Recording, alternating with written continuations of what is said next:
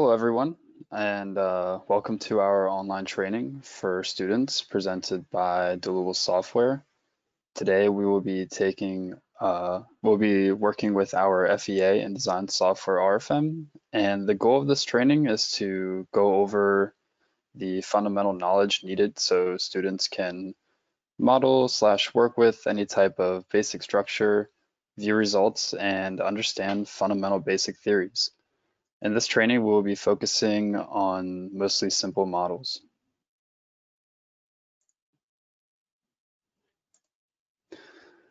So my name is Alex Bacon, and I will be your trainer for today.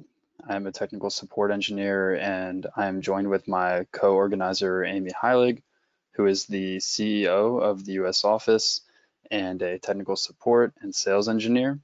We are located in Philadelphia, PA.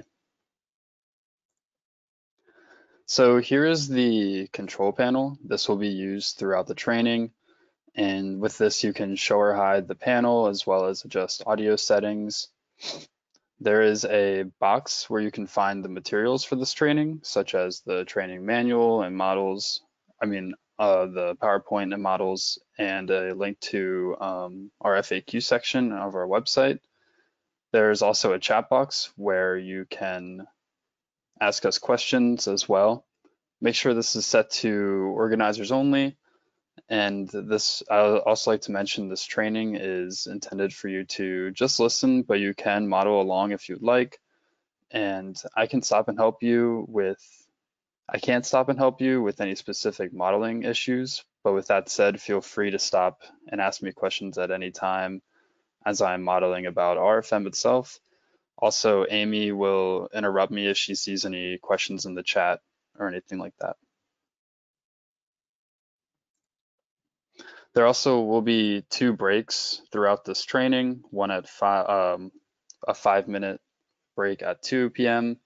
and another five minute break at 3 p.m. So about a one, one third and two thirds throughout the training. So here's the content for today's training. So first, we're going to start off with learning about the principles of FEA, and then I will go into an introduction into RFEM. After that, an introduction example will be done for continuous plates, and then I'll go through a stability analysis or uh, Euler case one example, and then that will be followed with a moment frame example, and lastly, we'll end with a concrete model. And then I'll try to leave some time at the end for questions as well. So to start off, we are going to go through the basics of finite element analysis. So basically, computer programs or computer software is based on the displacement method. Uh, another method you may be aware of is the force method, where the unknown is the force, and then you can calculate the internal forces based on this. With the displacement method, the unknown is the displacement of the structure or element that you are modeling. Uh, first, you can calculate the displacement vectors from using the displacement method, and then the internal forces, and after that, the support reactions. Next, analytical, so basically an analytical solution can be proven to be difficult with large complicated structures. So doing high-end calculations for a large complicated structure can almost seem impossible and the limits are basically being reached for this. So it is hard to yield accurate results. And this is where FEA is then required. So, right, so with FEA, the structure model is taken into the program and converted into finite interconnected element mesh. And then the material and the cross-section properties are given at each of these FE nodes. And then the mechanical behavior is transferred between each of these elements within the structure. I would also like to point out a good word to know is discretization. and this is basically when the structure submesh is being submeshed into finite elements. So I'd like you to walk away with this word. Now on to the procedure of FEA calculation. So step one is to determine, is the program determines the local element stiffness properties. And then after that, the global coordinate system properties are transfer or the stiffness transferred to that. And then following that, the entire structure is assembled. And then the support conditions are implemented. Fifth, the displacement vectors are determined. And then six, the internal forces and support forces are determined. So now I think is a good time to start the continuous plate example. So you can see a continuous plate is modeled here. We have three of them. And then we're going to compare these results of the bending moment with this continuous beam at the end here. And I think this should be pretty interesting. So now we can jump into RFEM.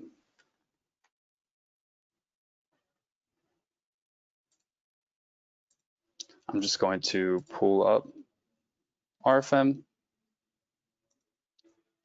And before we hop into RFEM, I would like to pose a quick poll for everyone.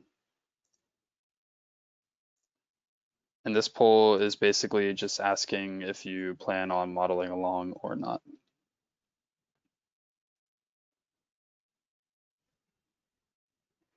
And I'll just wait for everyone to answer, wait for the majority of everyone to answer.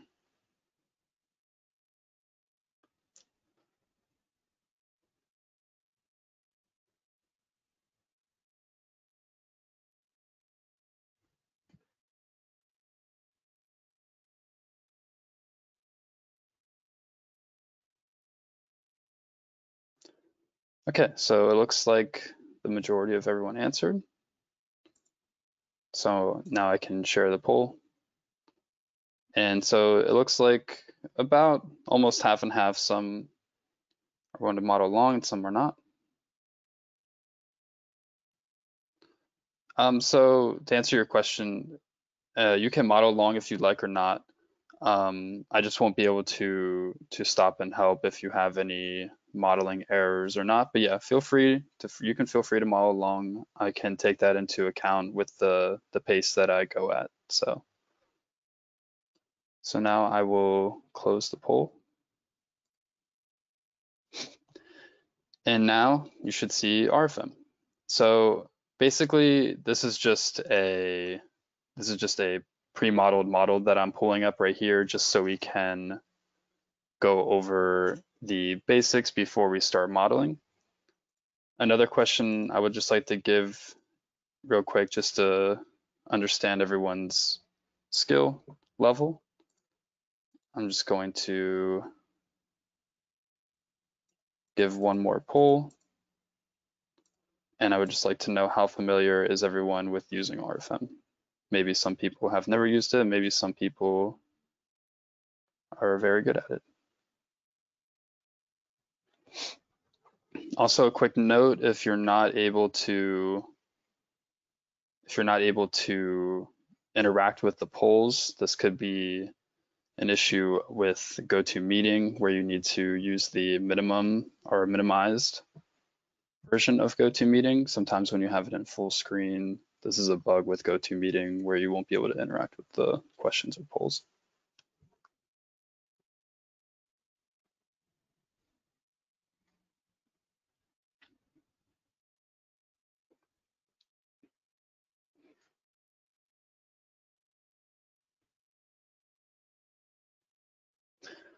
Okay, awesome. Looks like mostly everyone has answered. So I'm going to close the poll. And I can share the results. And it looks like, yeah, between one and three, some people don't know what RFEM is, and some people have modeled it in every once in a while, but still need help. So awesome. I'm going to hide that. And now we can jump into RFEM. So what is RFEM? Well, RFEM is a structural analysis software capable of analyzing plates, members, and also solids. And after modeling, you can run calculations, and this can give you deformations, stresses, and internal forces can be calculated on 3D structures. So almost anything is possible to be calculated, and this also includes volumes. So now we can go over the UI of this already modeled structure. So on the left-hand side here is very important. This will you'll be interacting with, mm, I would say most of the time. Most of the time you'll be within this work window, I would think. But this is what we call our project navigator. And this is where all of the model data is organized into these trees or subfolders. So you can see within these subfolders, I have, for example, my members right here. I have a members folder and you can see that all of the members within this model are listed here. And you can see that as I click on them, this is synced with the graphical window. So if I need to find a member, I can do that easily over here. And you can see that the cross sections and member type are listed. Next, maybe if you've just downloaded and opened up RFEM, I have my tables hidden, but yours by default should be at the bottom here, and you can adjust the size of these windows if you'd like. These windows or this table can be used to, again, view the organized model data of your model, but it can also be used to create and uh, give input data as well. So you can delete and create data within these tables. And you can see model data is one of the first tables. You also have your load cases and combinations, loads in this table, as well as your results. Next, we can move on to the most noticeable thing, which is the work window. So here in the work window, you can view your model and you can see that I'm moving my model around and I can do this. If your mouse has a scroll wheel, you can click down on your scroll wheel and you can move your model around in translation. And you can also hold the control key on your keyboard and click the scroll wheel at the same time, and that will allow you to rotate your model. And also the scroll wheel, you can zoom in and out of your model.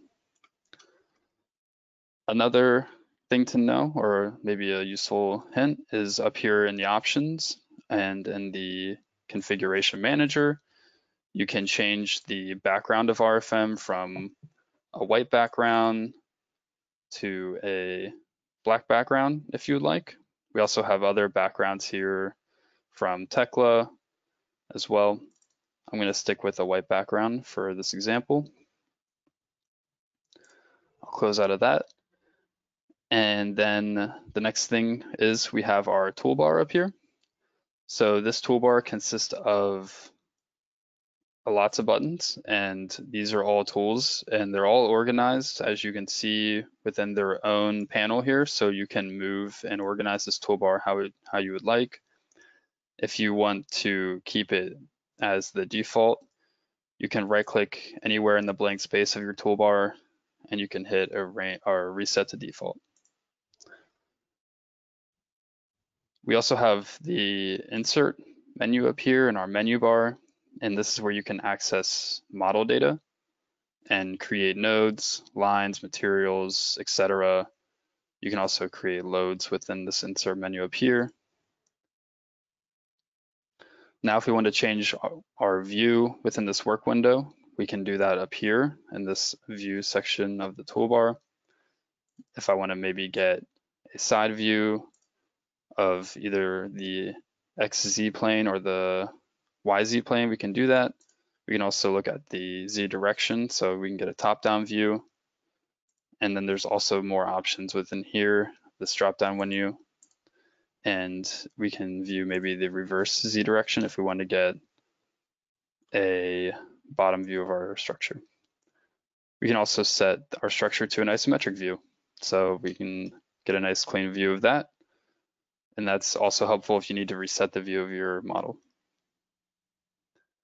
So on the left-hand side here, again, back in our project navigator, we have at the bottom here, under our add-on modules, the list of add-on modules within RFEM.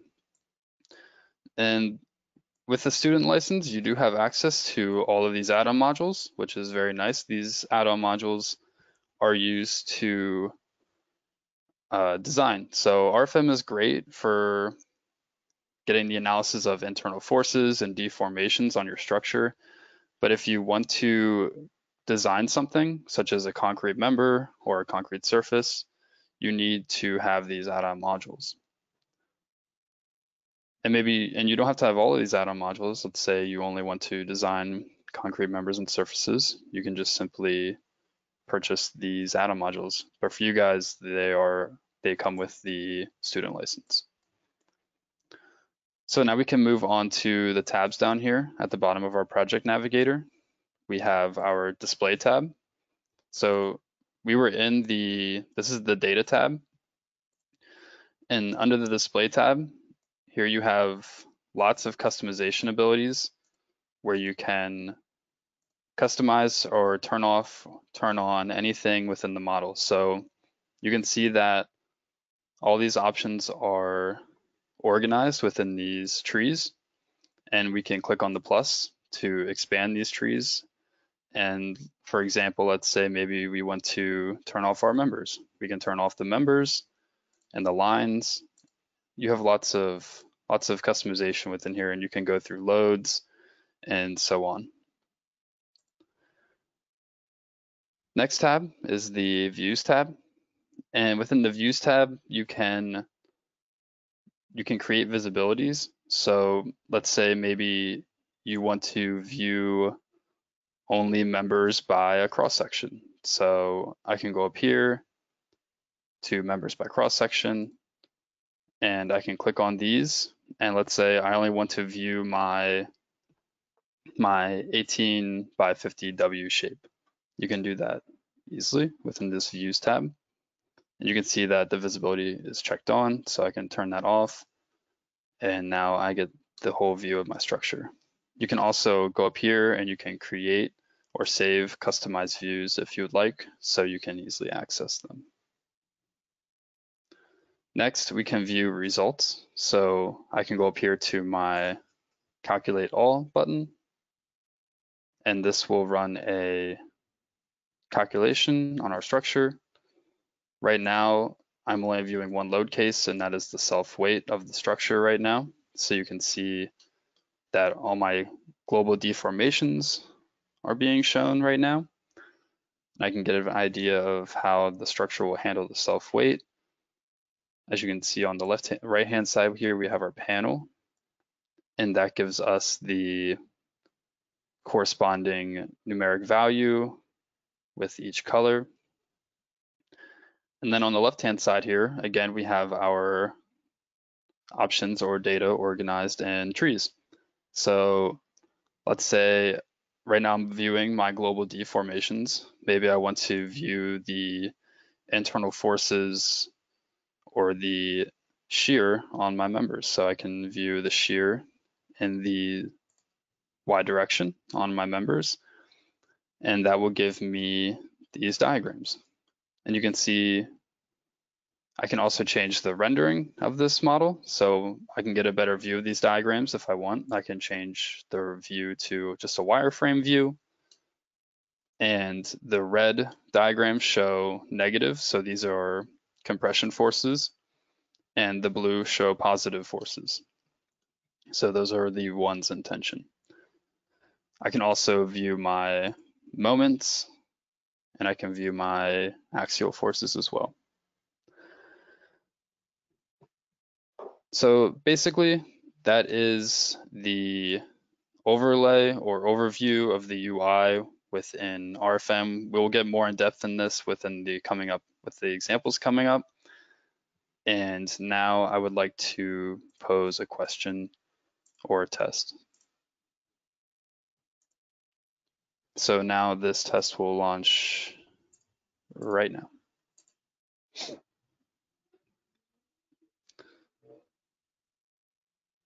I'll give you guys about half a minute to answer that.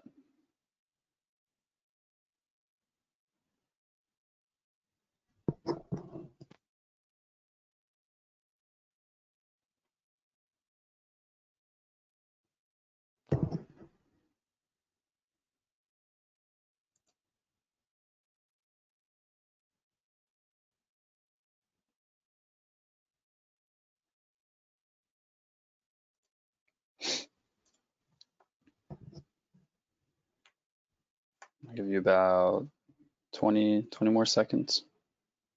Wait for the majority of people to answer.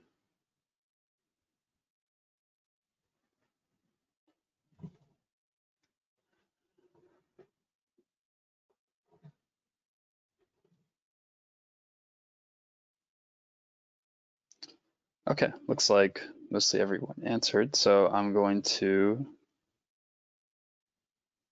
close the test about right now.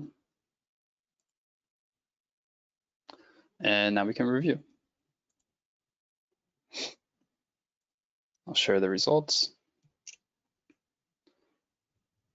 So great, awesome. Looks like looks like pretty looks like everyone pretty much got the answer correct. So the correct answer or the question was what is discretization? And the answer is the structure being converted into finite elements. So yep, this is pretty much when a real life structure is modeled and then converted into finite elements. And I'm gonna hide the results. And then I just have one more question before we move on to the modeling of the continuous plate.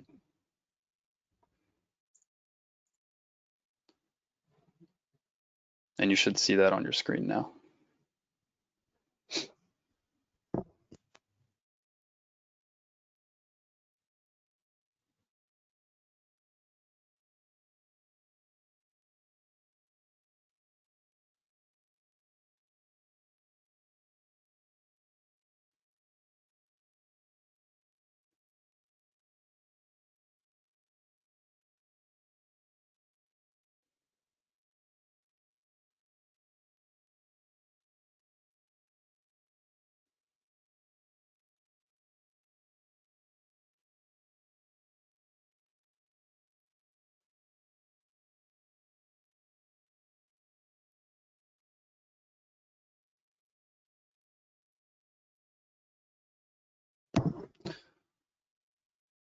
Okay, I'm going to close the test.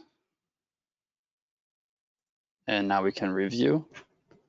And awesome, looks like everyone got most, or most, actually everyone got the correct answer. So the question was, what is RFEM? Oops, let me share these results for you guys. Question was, what is RFEM? And the correct answer was, it is a 3D FEA program for calculating members, plates, and shells and also solids. So that's awesome. So now we can move on to the continuous plate example. So I'm going to hide that. And now you should see RFEM. And I'm going to, up here, if you don't see your project navigator or the table at the bottom, there's two buttons next to your toolbar here, and you can turn on and off the project navigator, and you can also turn on and off the table at the bottom here. I usually like to have the table turned off just so you have more real estate within your work window here. So now to move on to the continuous plate example. The first thing we want to do is go up here to the left-hand side and we can click on our button up here called New Model. You can also find this under File and we can hit New.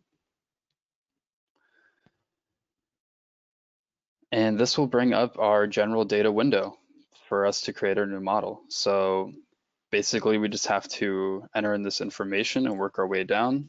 The first thing I'm going to do is create it or enter the name. So I'm going to enter the name continuous model. You can enter a description if you'd like, but it's not required. You can also have your own projects or have RFEM organize your models into project folders if you'd like by creating a new project and checking out your project manager here. I'm not going to do that for this example.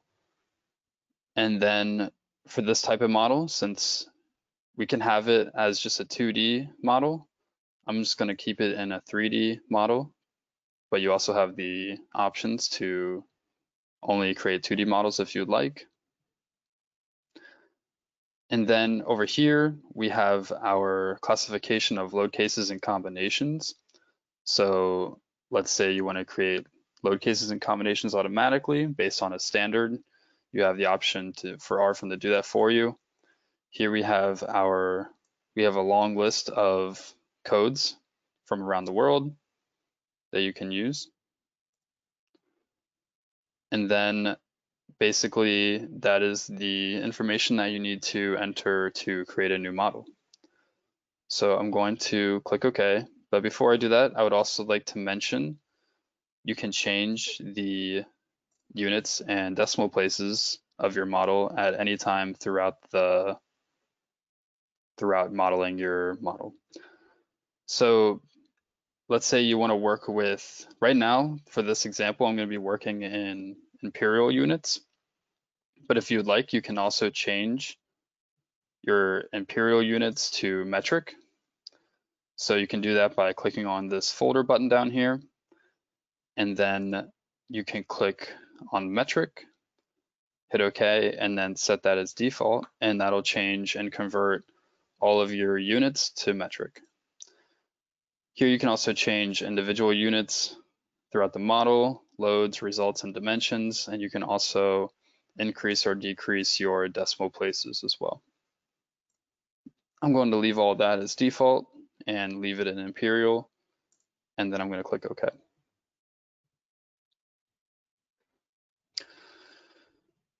So now you can see that we have our blank work window, and this is where we're going to be modeling basically.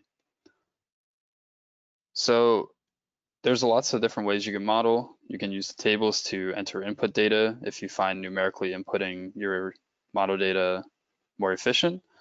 For this example, I'm just going to use the tools we have up in our toolbar up here. And I'm going to go up here to the left-hand side, and I'm going to go to New Single Member. I'm going to click on this button, And this would be the tool to use if you were going to create your I-beam or members. But, um, but first we're going to model the continuous plates. So I'm going to exit out of that. And then I'm going to go to this tool called New Rectangular Surface. So here we're going to click on the New Rectangular Surface button. And then now you can see we have our new rectangular surface window right here. And this is where you're going to enter the data needed to create the surface. So first, you can see we have our surface number right here. And then we also have our material. Right now, by default, this is set to steel. And I want to make this surface a concrete surface. And to do that, I can go to this button right here. And this one's called import new material from material library. I'm going to click on that button. And now you can see this window pop up called material library.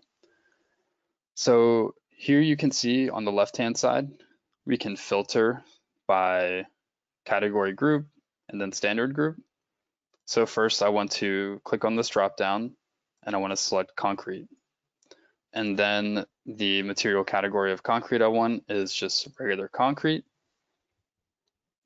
And then the standard group, I'm, for this example, I'm going to be using the ACI, but we also have other standards as well, such as the CSA and etc. So I'm going to choose AS, ACI, and then I'm going to make sure I choose the latest ACI standard, and then I'm just going to use 4000 PSI concrete under here. You can also edit the material if you would like once you create it. So I'm going to click OK. And then you can see the material set to 4000 PSI concrete. And my option to edit material is right here. So you can edit any of these material constants here, such as the modulus of elasticity, shear modulus, Poisson's ratio, and etc. You can also create a new material if you'd like as well. So now I would like to change the thickness of this material. Right now it's set to 8 inches by default. I'm just going to make this 12 inches. And then I'm going to click OK. So now I'm going to just rotate my grid plane here. You can see that we have our origin at the center. And then you can see that my cursor has the coordinates locked to it. And you can see that this snaps to any of these points on the grid. Now let's say maybe you want to change the spacing of these grid points. You can do that up here under the settings of work plane. So if we click on this button, our work plane and grid slash grid slash snap settings will pop up. And you can see on the right hand side here, we have our grid point spacing. And right now these are set, this is set to one foot by one foot. So each of these points is one foot by one foot away. And you can also choose how many grid points you would like in each direction as well. Right now, this is set to 50.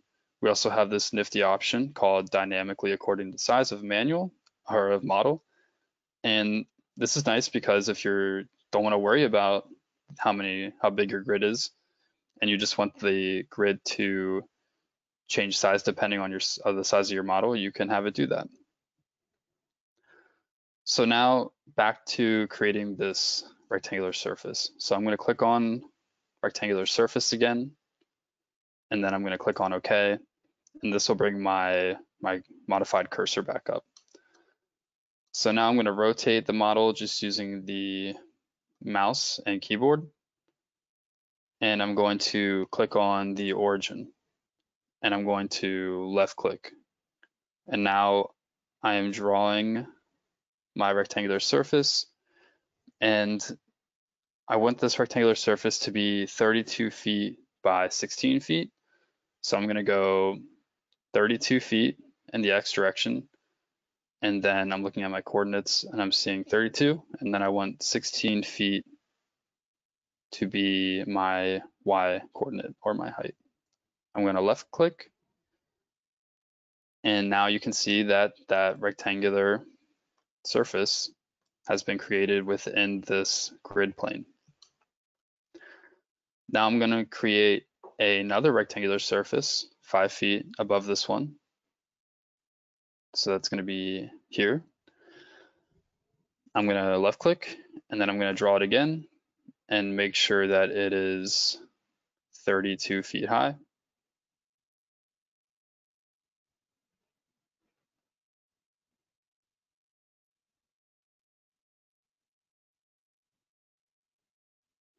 So that will be right about here. And that looks too high. So what we can do is highlight, double click on the node. I can change this from 44 feet to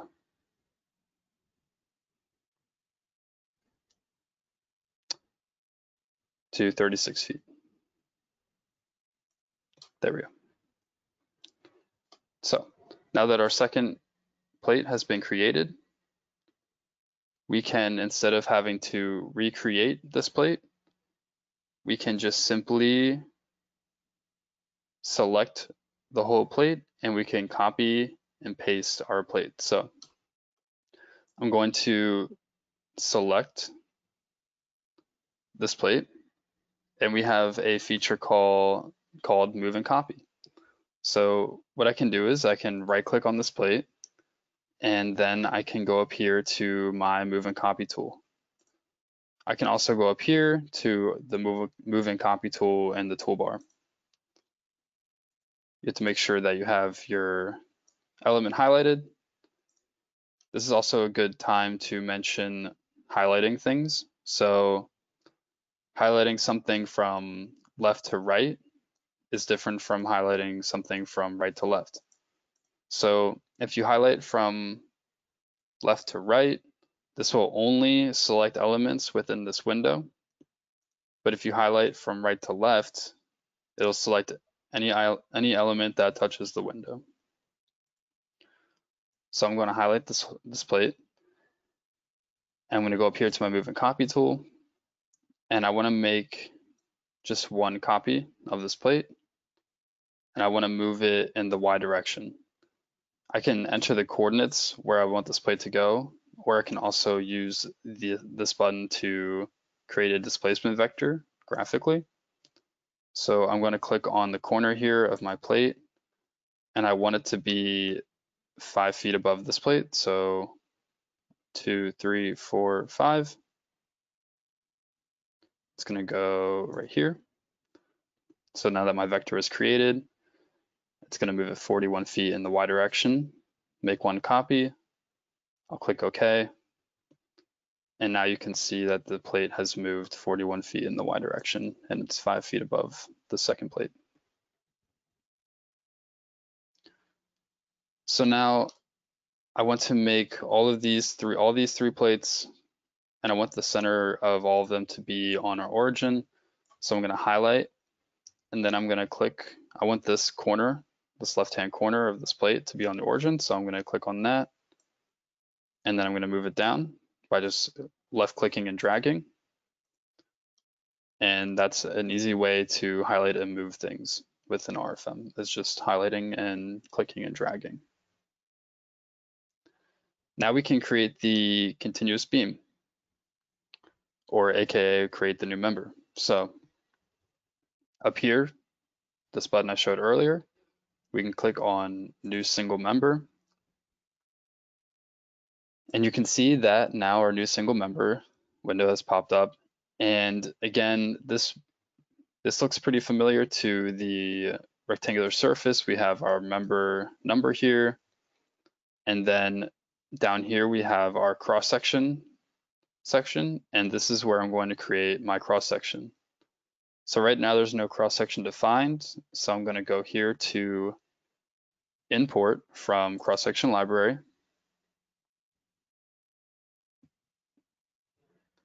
And then, and then I want to create a rectangular concrete cross section. So within this cross section library, you see we have our rolled sections, built up sections, parametric thin walled sections, Today we're just going to be focusing on our parametric massive sections and I want to make a rectangular section. So I'm going to click on rectangle and then you can see you have lots of different types to pick from within these cross-section types. And I want the base of my cross-section to be 40 inches. And then the height of the cross-section is going, going to be 12 inches. This is the same thickness as our plates, 12 inches. And you can see how that or what the base and height is corresponding to in this graphic here. You can also see that the material is set to concrete 4000 PSI. So I'm going to click OK. And now my cross section is shown on the right hand side here. And the start of my member has this particular cross section. So I'm going to click OK. And now my cursor is ready for me to draw in the work window the continuous beam. So again, I'm going to space this five feet away from my previous plates. And I'm going to draw I'm going to left click here and you can see that there's a line showing you what you're about to draw. I'm going to make this the same length as my plate. I'm going to left click and now you can see that my rectangular concrete beam has been drawn.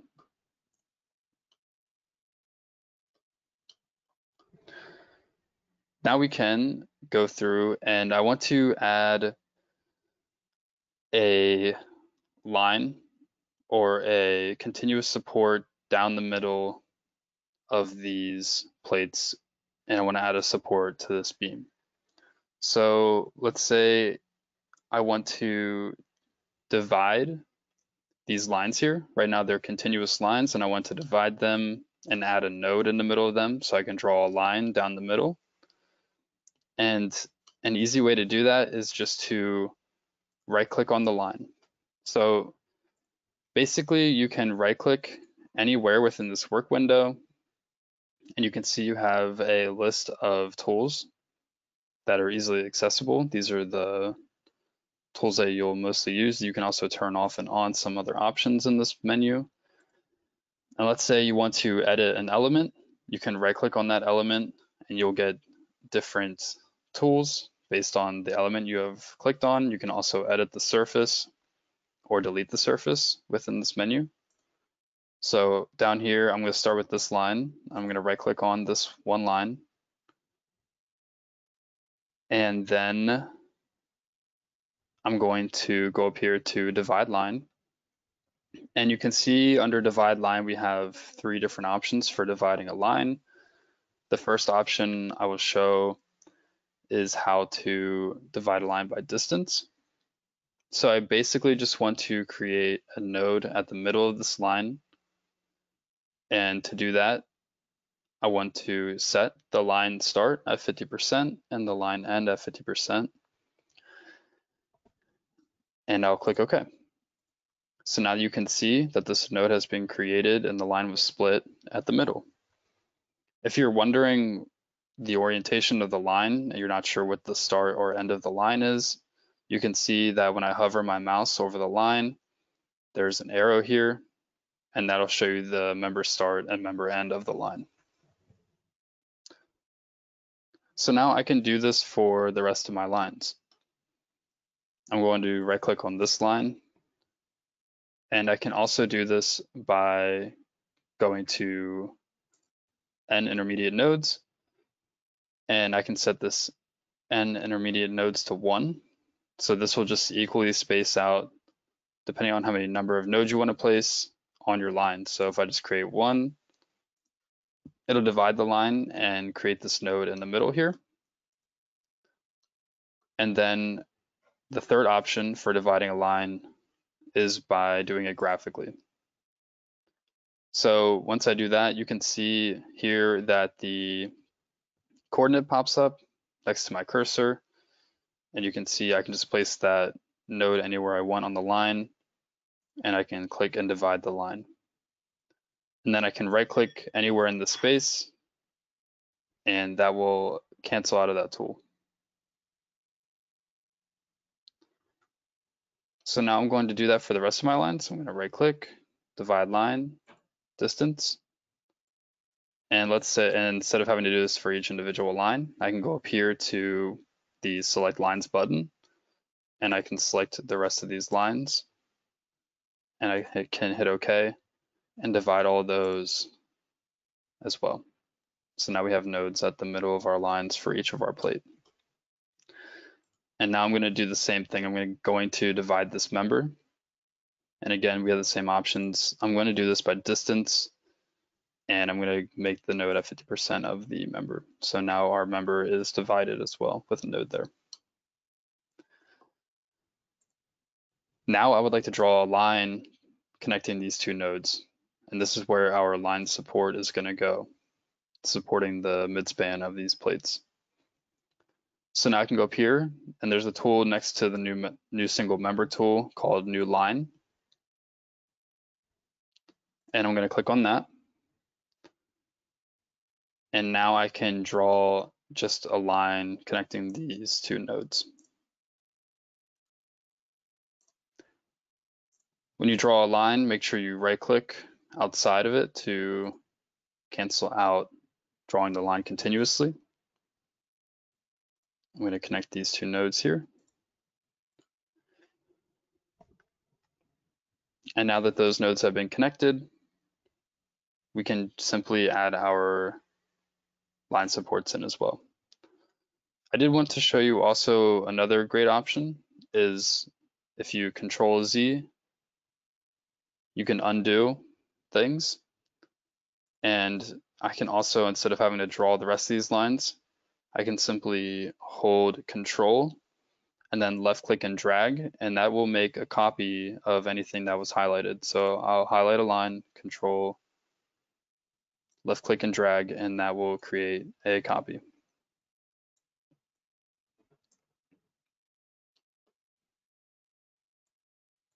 There we go. Now we can add in our line supports. So if we go up here to our tool, there's one called new line support. And we want to make a line support that is hinge. So right now, that's what our line support is set to is hinged.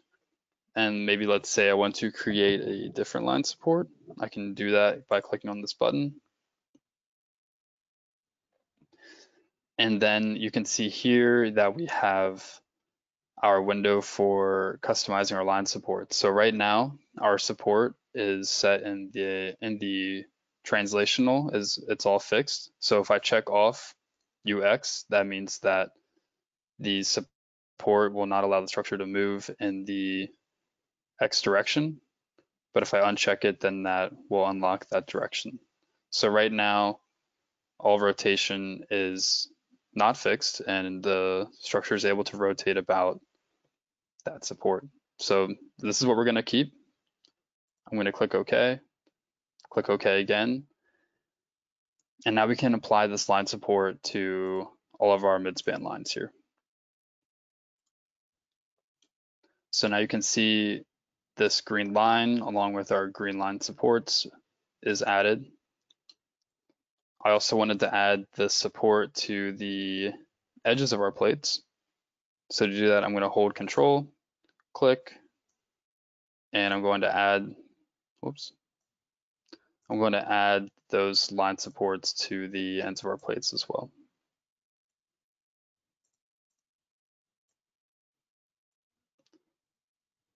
Make sure everything is highlighted before you click, hold control, drag,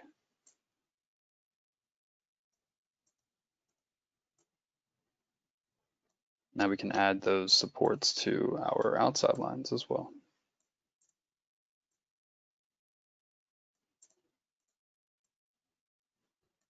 Oops.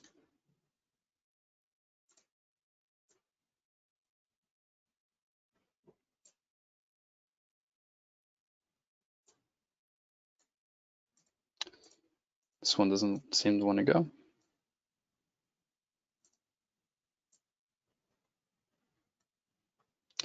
No matter, can just go up here to my tool, click OK, and just add that graphically. I can right click and cancel out of that. And now we would like to, uh, so now that our line hinge supports are added, I would like to add the supports to this member over here. So to do that, instead of adding line supports, these are just going to be nodal supports. So I'm going to go up here to new nodal support and the first two nodal supports or the midspan support and the first end support is going to be a hinge support. So I'm going to simply add that to these two nodes right here and right click. And now you can see we have a hinge support in the middle here that allows full rotation but no translation. And this end support allows full translation or full rotation and no translation. Now we just have to add one more nodal support to the end here. This one's a little bit different. This one is going to be, I'm going to create a new nodal support for this one. This one is right now allowed to rotate about the x-axis. but we don't want that. So I'm going to fix that. So now the member is not allowed to rotate about the X axis, which if we did not do this, it could rotate indefinitely and create a stability error within the program. So now that we have our supports defined and all of our model data entered almost, we can now focus on adding the loads to this to these different elements. So it is important that when we add our loads in that we create a new load case because every load needs to be assigned to a load case. So to do that, we can go up here to this button up here called new load case, and we can click on that. We can also go here on our left-hand side in our project navigator, and we can go down here to load cases and combinations and load cases, and we can simply right click on load case and click new load case.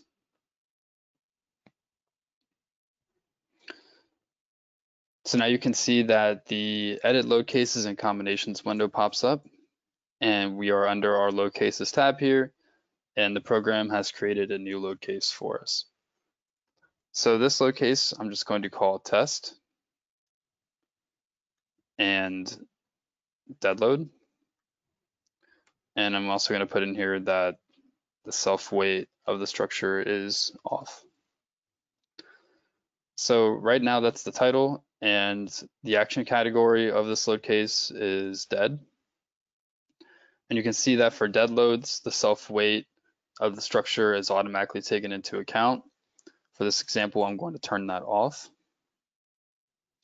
And I'm going to click OK. So now our load case is created. And you can see that up here in our drop-down window, we have one load case. And now I can apply the loads to the surfaces. So now I'm going to go up here to this tool called new surface load. And the load type is going to be a force and the load distribution is going to be uniform.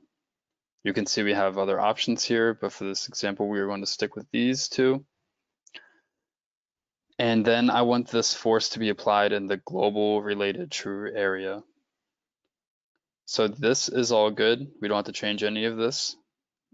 And now down here is where we're going to enter our magnitude. So the magnitude that's going to be applied to these plates is going to be 210 pounds per square inch.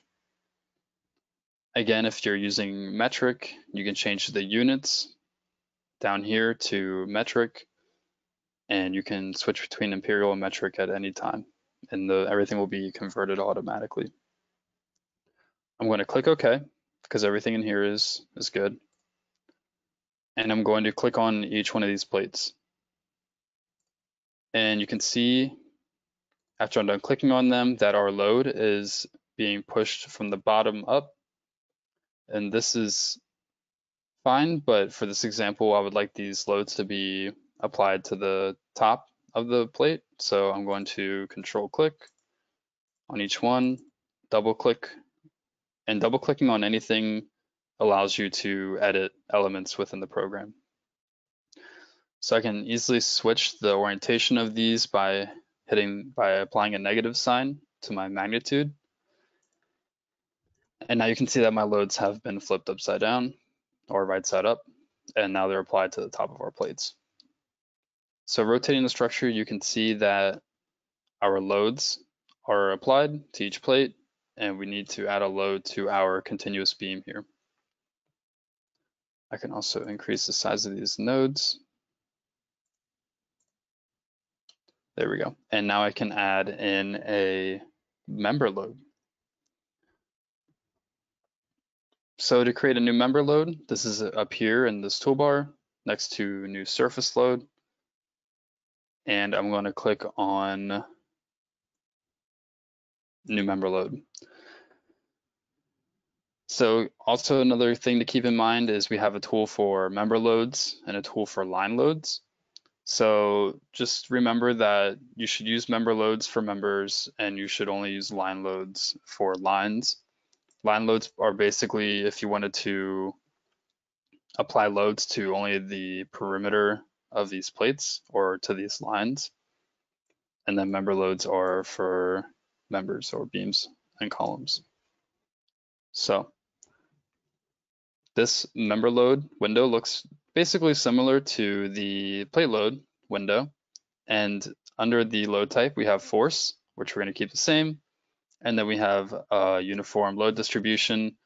We're also going to keep that the same. And this load is going to be applied in the global related to true member length Z direction.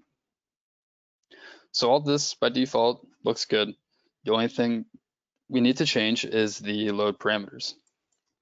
So again, we're just going to make this load simply 210 um, pounds per foot.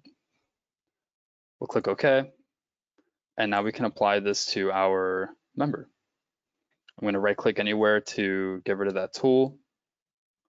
And now the load of our structure or of our individual elements here, all of the loadings applied that we need to for this example.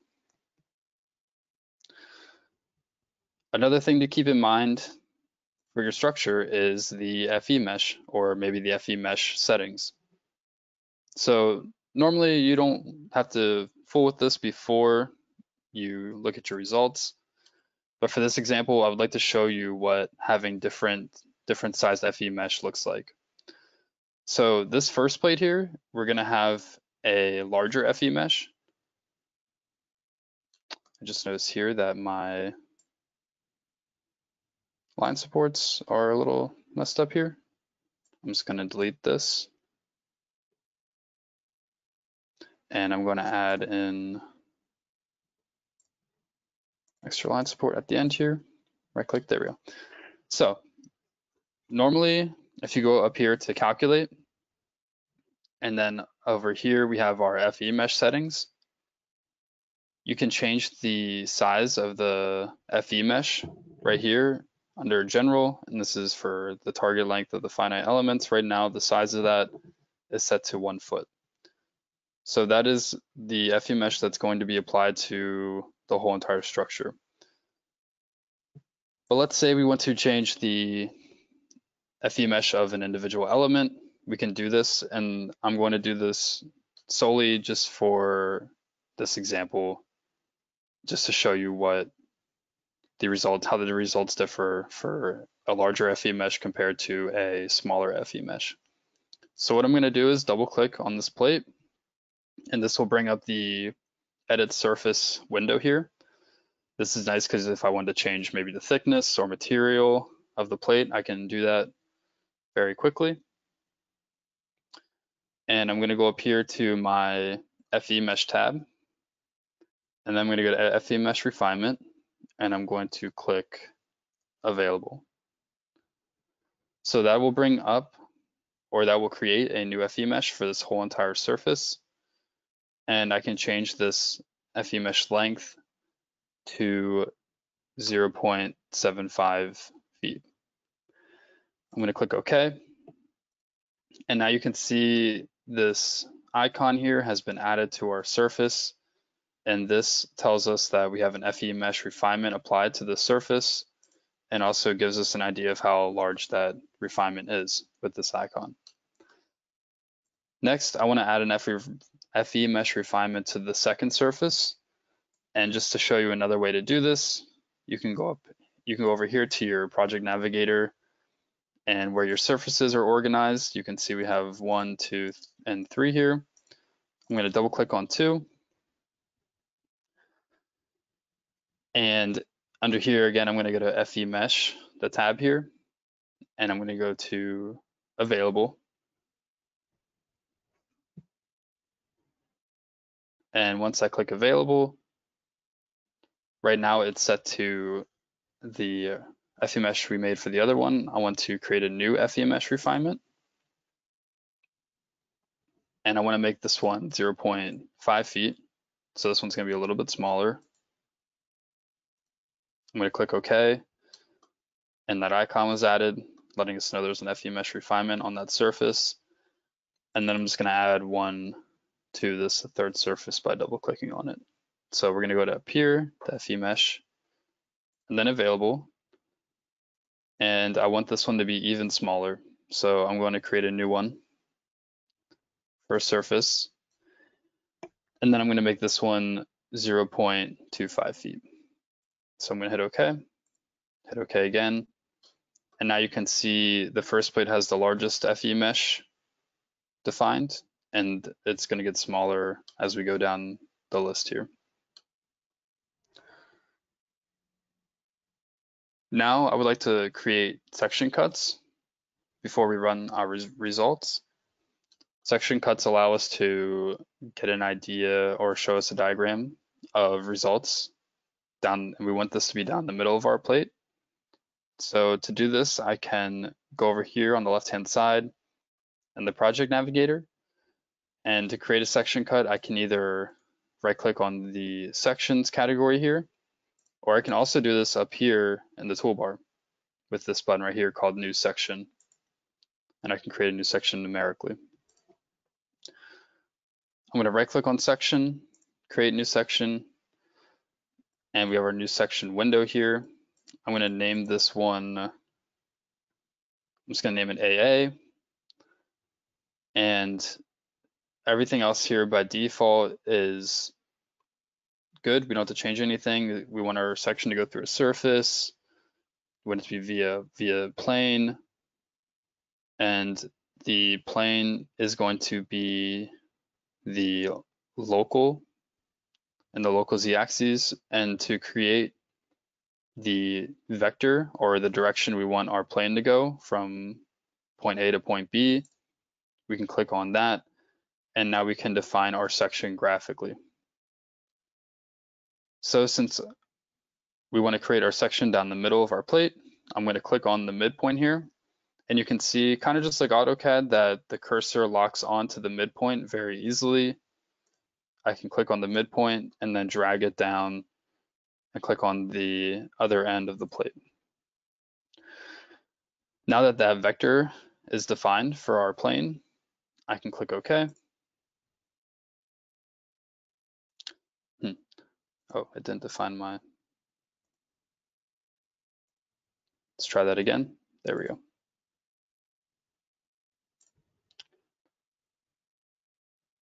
Let's try creating this one more time. I'm going to go over here to new section.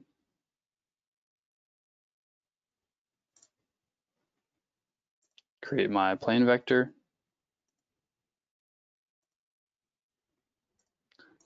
Enter my name.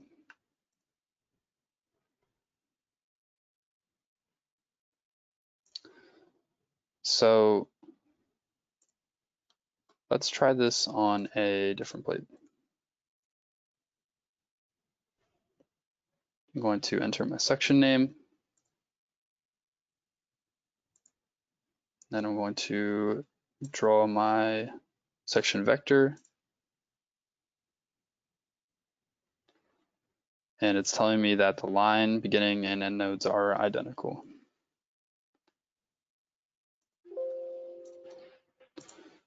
I believe that my line supports are not defined correctly here.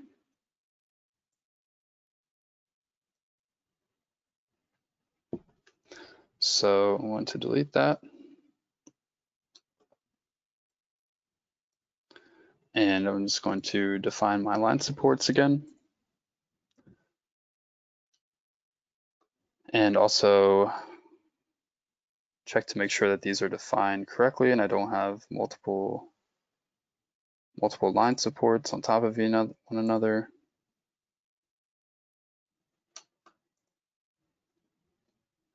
I'm also just going to hide these.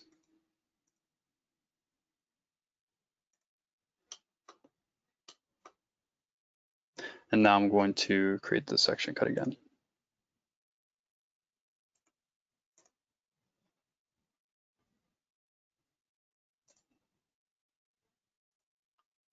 I'm going to draw that.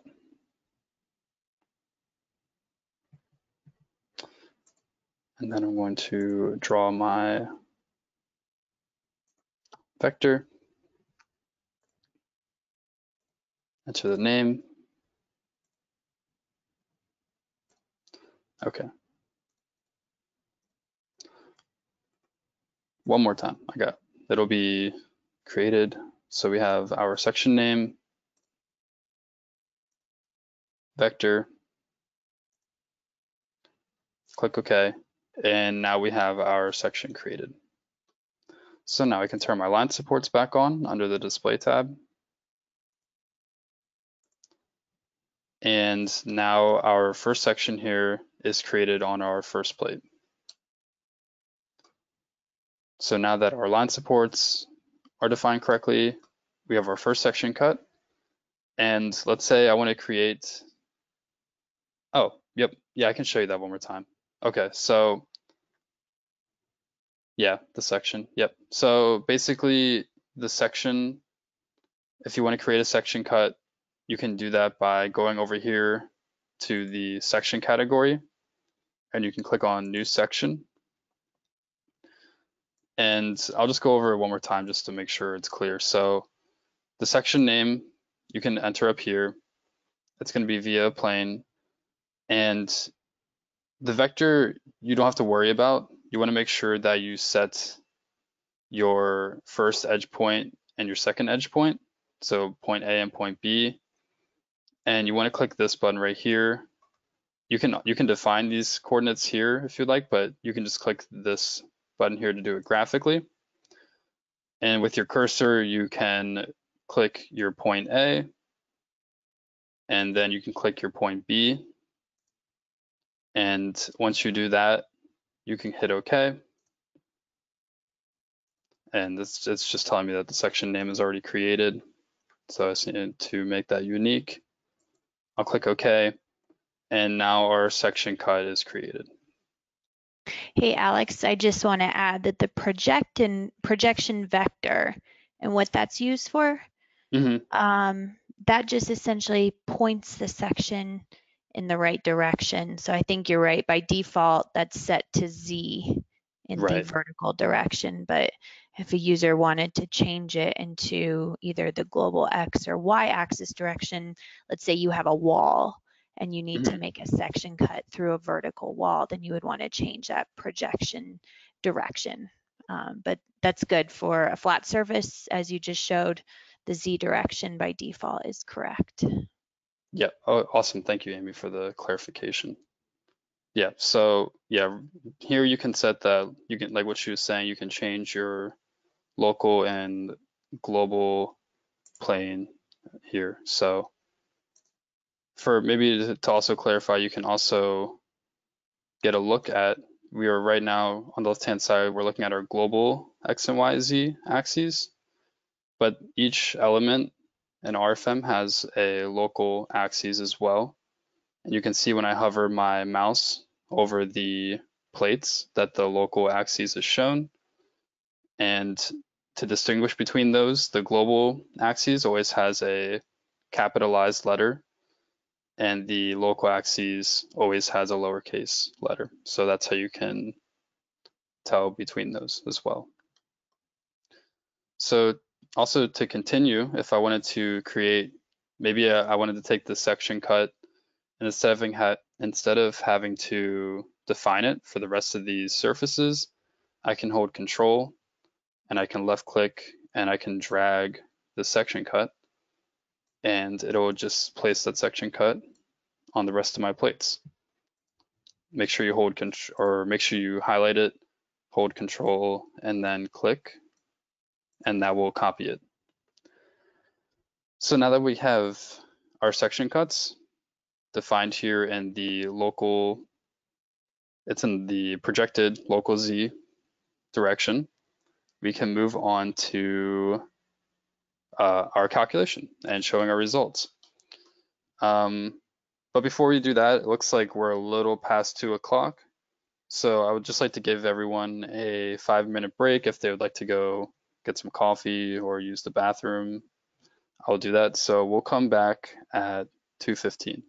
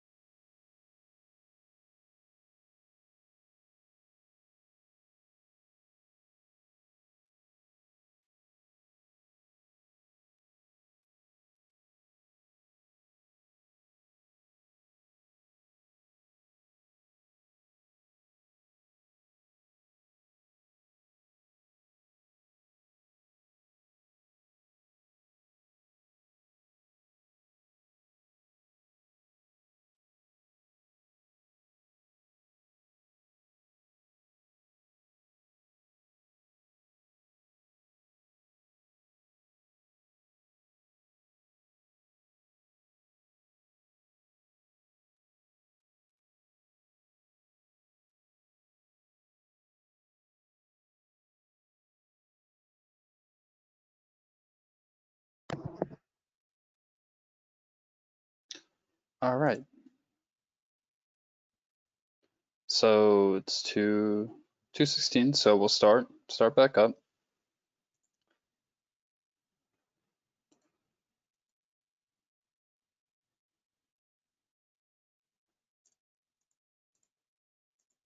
Oops, gonna open RFEM. So before we get into the results, I would just like to give a quick poll just to make sure everyone is okay with the pacing. Oh.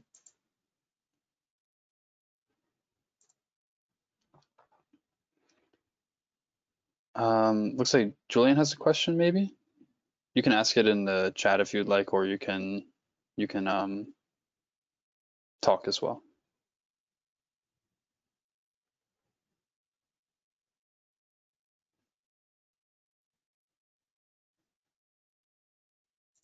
I'm also just going to launch this this poll real quick just to make sure the pacing server is okay. So I'm going to launch this.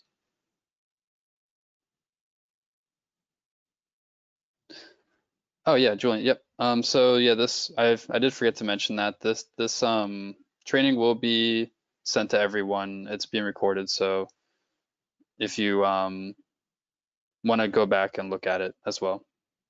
Thank you. Thank you. So, yep.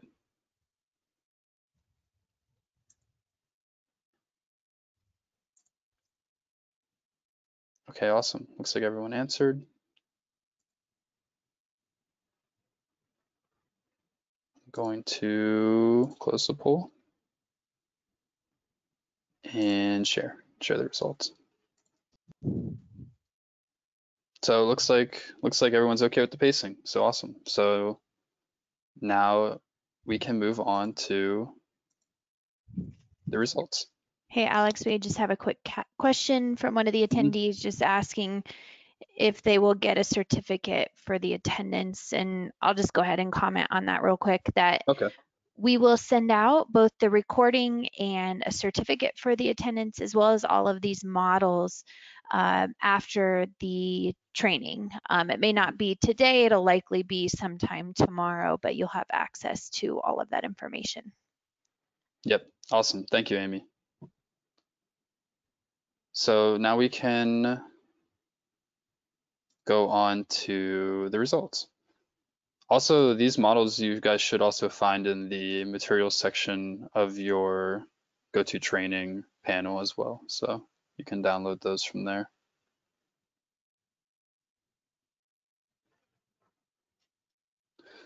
So now that we have everything from last time modeled, we have all of our model data, we have our section cuts. Um, let's say you want to see your loads again. I did forget to mention that up here. There's a button called show loads. So if you're not seeing the loads on your model, make sure this button is clicked. And I usually just keep it unclicked just to have a cleaner look. And then up here, we can click on this button if we just want to see the results for our selected load case. And then, or if we have maybe lots of load cases and load combinations, we can just go over here to the calculate all button. So I'm going to click on calculate all. And now RFEM is going to calculate the deformations and internal forces of our elements here. And now you can see right now that we have our results tab here in our project navigator, which wasn't there before. This only comes up if you have results. And right now we're viewing the global deformations. So you can see we have the colored cross section or the colored planes giving us an idea of what the deformation is on each of our slabs here. And again, we have the panel on the right hand side. If you can't see this panel, you can also turn this on and off up here under the toolbar, just like the project navigator and the tables. So that can be turned on and off. And then you can see on our continuous beam here that our deformation is just shown as this yellow line. Let's say you want to view it as a colored, as like a colored cross section, kind of like these planes. We can do that by going under here to the display tab. And then we can go over here to our results section. So I'm just going to collapse my model options here. I'm going to expand results. And then under the deformations section right here, I'm going to expand that and then expand members. And here I can choose cross sections colored. So now that that's activated, I'm going to go back to the results tab. And maybe we want to view the internal forces on our member here. We can turn off global deformations, uncheck that. And I'm going to expand members here, turn on members or results for the members. And maybe I want to view the moment about the y-axis. I can turn that on under internal forces. And now we get this moment diagram, whoops, moment diagram that is illustrated on our beam. And you can see that, again, blue is tension forces. And then we have our peak here, which is our compression forces. And then we can also go in and view the internal forces of our plates here. So I can turn those on simultaneously. I can go over here to my surfaces category here. I can check that off. And right now we are viewing the basic internal forces MX of our plates. And each color, you can see the value for each color or corresponding color is shown in our panel here. On the side, we can get our max moment and our lowest moment right here. And let's say maybe you want to view a diagram on these plates, just like the one in the member here to get a better idea of like the peaks and valleys. So we can go over here on the left-hand side and click and turn on our section cuts. And now you can see that we have our peaks and valleys or our tension and compression forces based on our section cuts right here. And that is giving you a better visual of the moments on our plate here, or our plates. So now you can see the results. And also you may be able to spot the difference in accuracy of the FE mesh here. So you can see that our FE mesh or our diagrams here become more accurate as the FE mesh size uh, or the FE mesh size decreases as we go along here.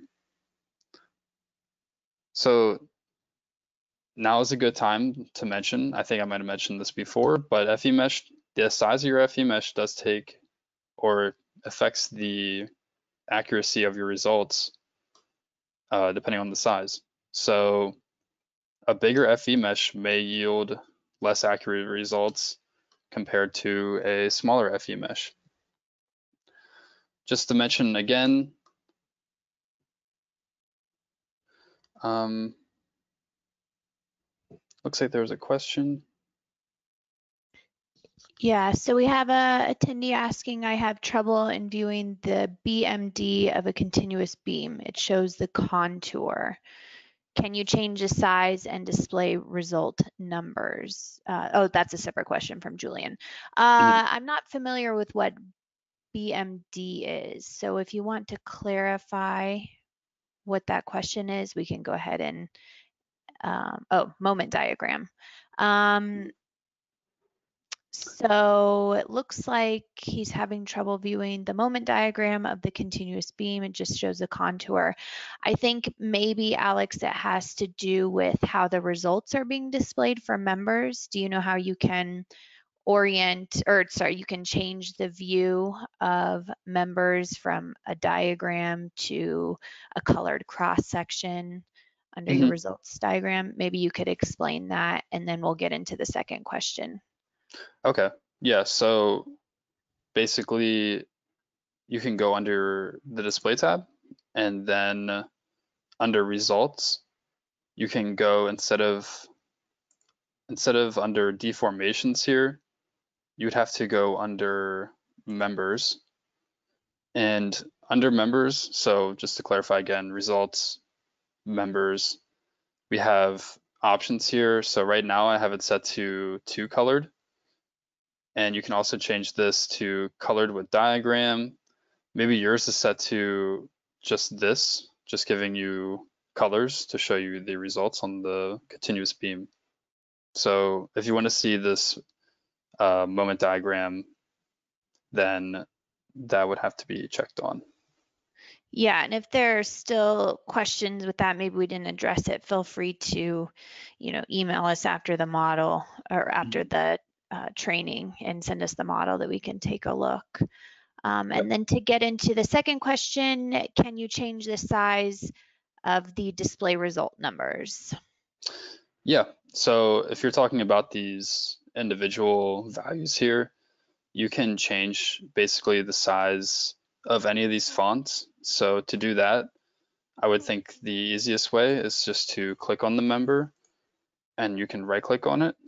And then you can go down here to display properties. And within this displays properties window, you can change a lot of different, you can customize a lot of different things within here. Um, right now we'll just customize the fonts. So we'll go to fonts and then we'll go to results.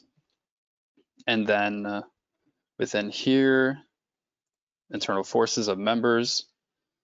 And then once this comes up, there's a button down here called set font. And then once this is open, you'll have your size window here. And I'm just gonna click on this and enter, I'm just gonna enter 11. I'll click OK. And then you'll see that the font size is increased. And then you'll see that that font size has increased within the window. So I think I think that should answer the that question for Julian. No problem. Awesome. So I think, yeah, that's all the questions for now. Um, now we can move on to where we were going into, uh, oh, right, the FE mesh. So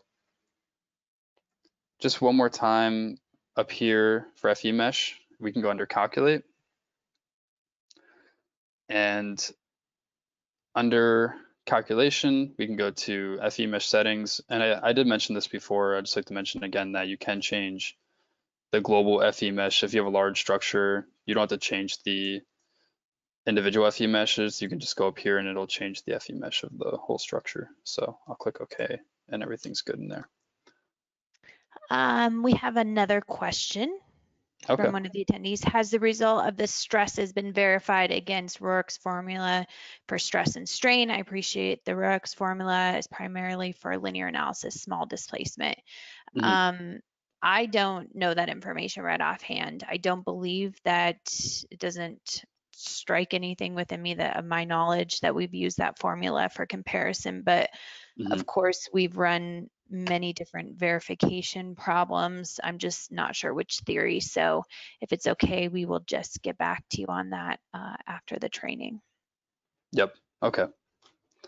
That sounds good. Thank you, Amy. Then we can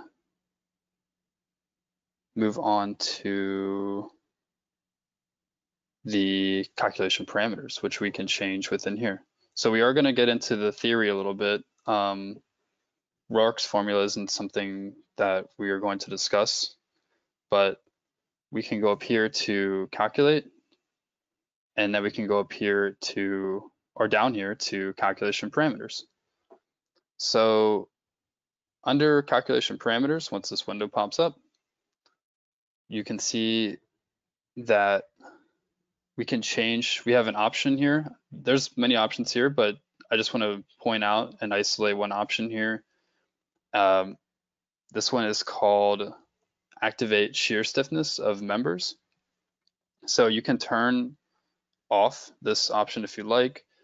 This option, I, am mentioning it because this is important. If you're trying to compare hand calculations to RFEM, um, you would want to turn this off because RFEM is always calculating with shear stiffness of members. So once this is done or once this is turned off, you will you have to click OK and it's going to ask us if we want to we change something. So this action requires the results to be deleted. I'll click OK. Now the results are deleted and we can turn the we can run the results again. And I'm just doing this to give you an example that if you turn off the active shear stiffness of members, it's going to affect the bending moments. So before our values were different compared to now, if you remember them from before. And the reason for this is because the methods used in school assume that there's an infinite shear stiffness when in reality there are some shear deformations that go on within these elements. So I just wanted to explain this so if you're comparing, if you're trying to compare hand calculations to this bending moment diagram, then this is an important option to turn on or off. So keep this in mind when comparing hand calcs. Um, now, I would just like to, so now we can move back to the PowerPoint and this is where we're going to dis discuss some plate theory. So um, another quick question from a user. Okay.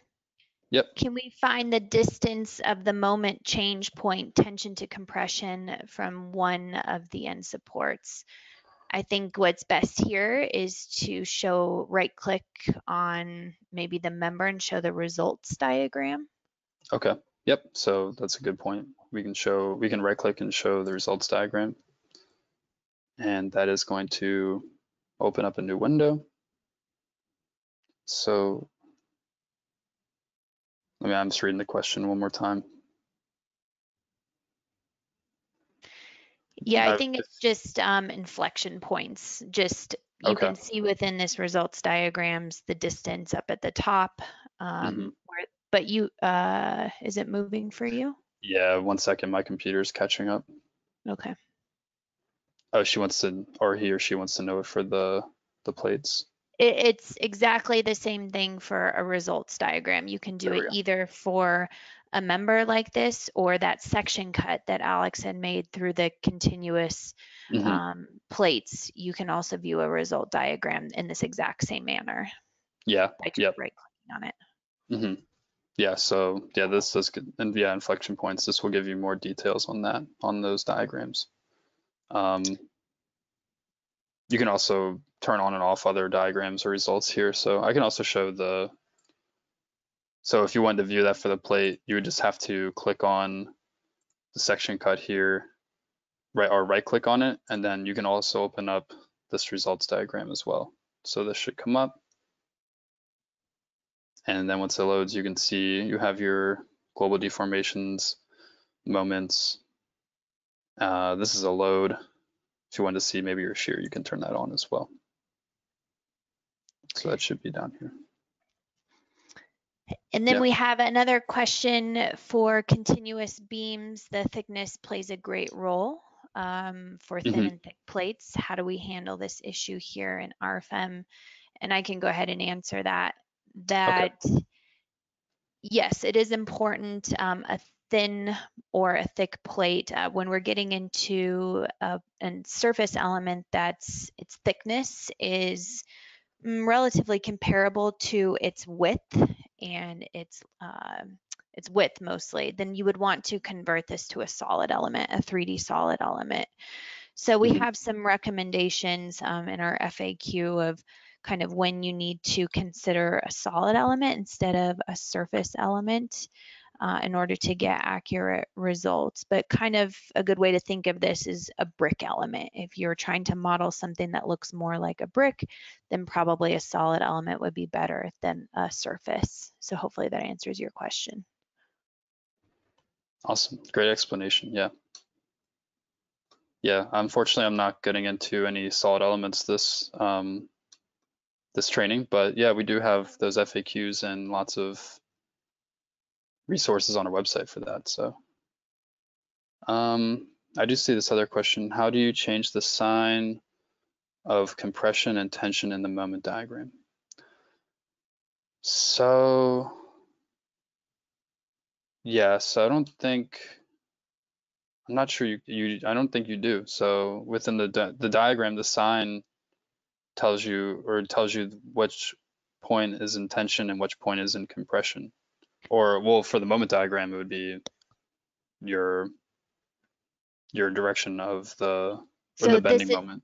yeah, and I'll just comment on this. This is based on the right-hand rule. Uh, when you're Mhm. looking at moment diagrams, you have positive and negative moment, and that's the convention that RFEM goes off of. So you don't have the ability to change the sign within the program. It goes off of the right-hand rule. Yep. Yeah, the right hand rule. Yep. That's that's good. Yep. Um, yeah, so um, any more questions before we move on to the the plate bending theory?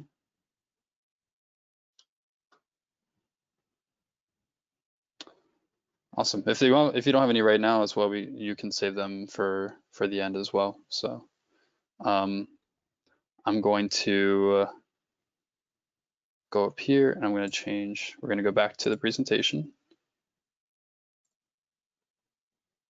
And we can get into, sorry, one second. So now we can get into some plate theory for RFEM. So this is an analogy for beam elements. And so the first, one of the theories for beam elements is Bernoulli's theory. And another theory is the Timoshenko theory. So for Bernoulli's, these are the two assumptions we make. We assume that the cross sections remain in plane and perpendicular to the member axes.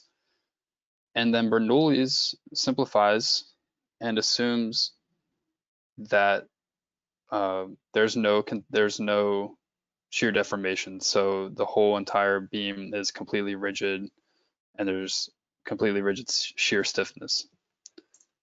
For the Timoshenko theory, again, we assume the cross section remains in plane and perpendicular to the member axes.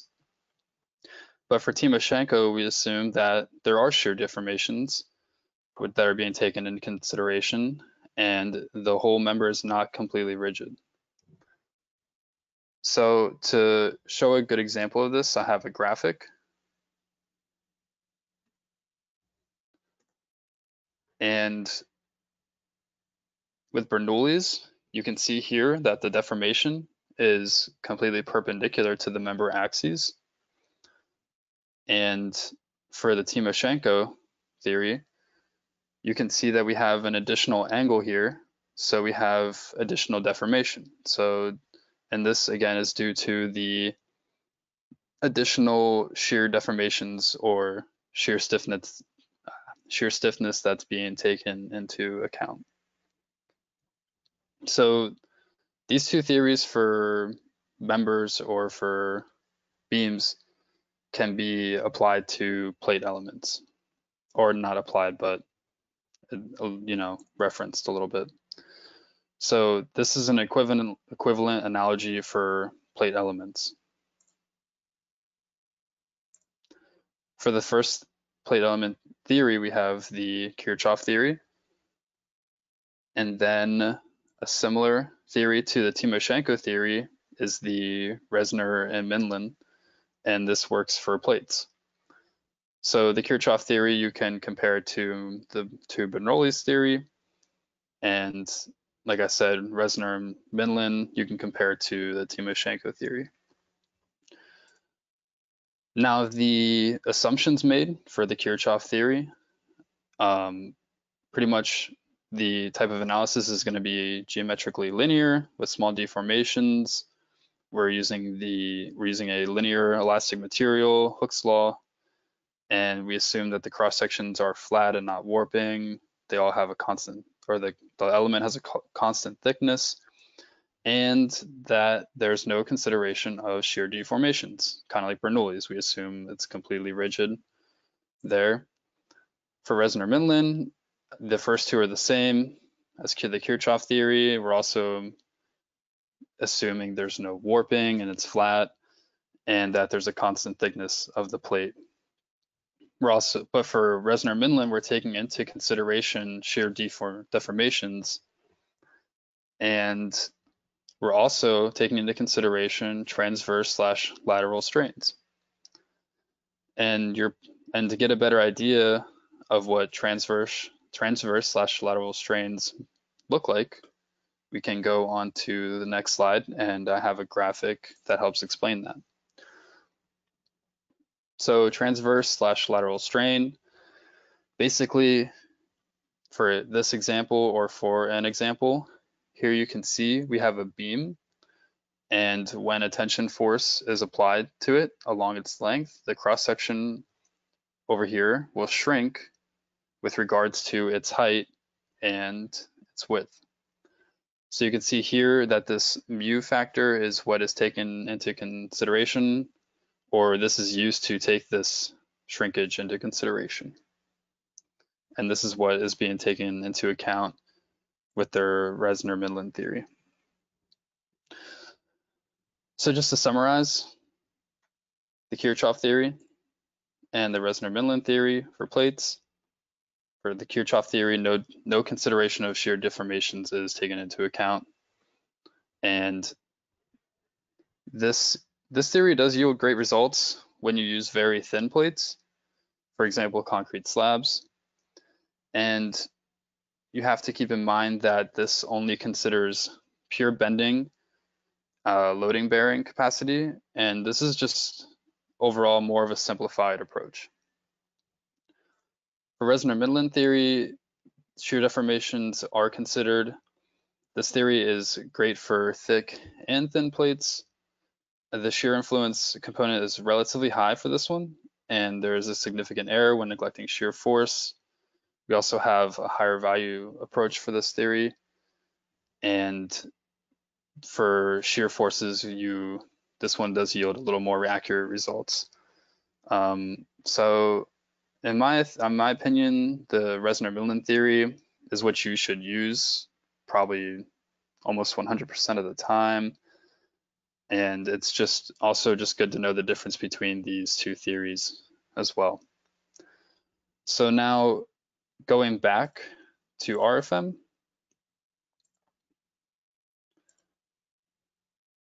we can look at our calculation parameters again by going to calculate and calculation parameters.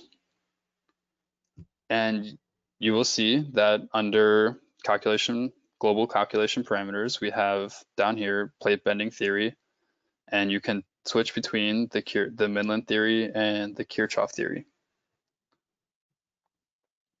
So right now, let's we take a look at the results and we can see how those change depending on which theory we have activated. So let's take a look at shear. Right now I'm under surfaces and I'm taking a look at my shear diagrams through my section cuts on my plates. And we got a round two here, round two here. Uh, that's kind of consistent throughout these, the, even with the FE mesh change. So let's say I go up to calculate and I go into calculation parameters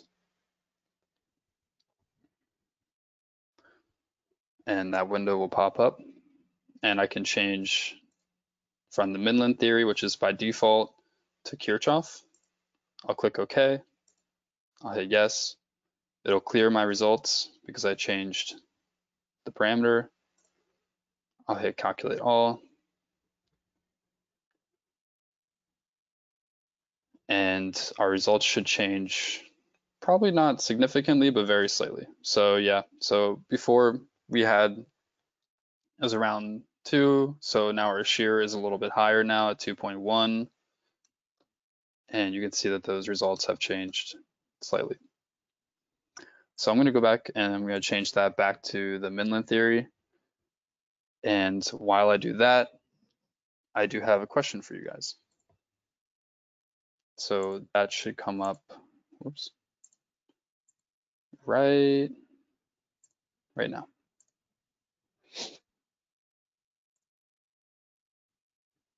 And I'll just keep that up for, for a minute or so.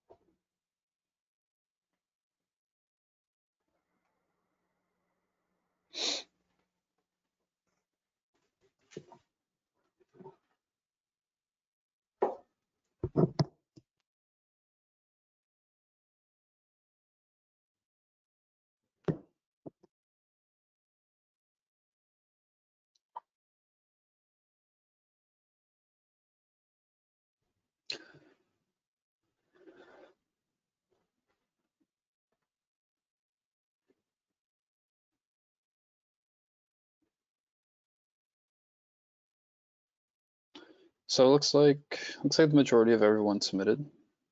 So I'm going to close the test. And now we can review the results. So it looks like the average score is about 60%. So we'll just go over the question. What happens if the shear stiffness is activated? And the correct answer is shear deformations are considered. So with shear stiffness being activated, this pretty much is saying that the shear stiffness is not completely rigid and it's going to change depending on the deformation. And this is what happens in reality with structures in real life. Um, this is compared to having it off, which would assume a completely rigid shear stiffness. So I'm going to hide the results and then I just have a second question before we move on to the um, case one example frame.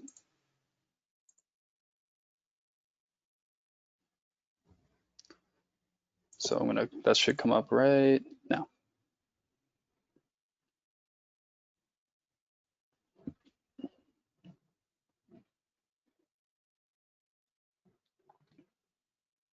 Now I'll just give you guys a around a minute for that or so.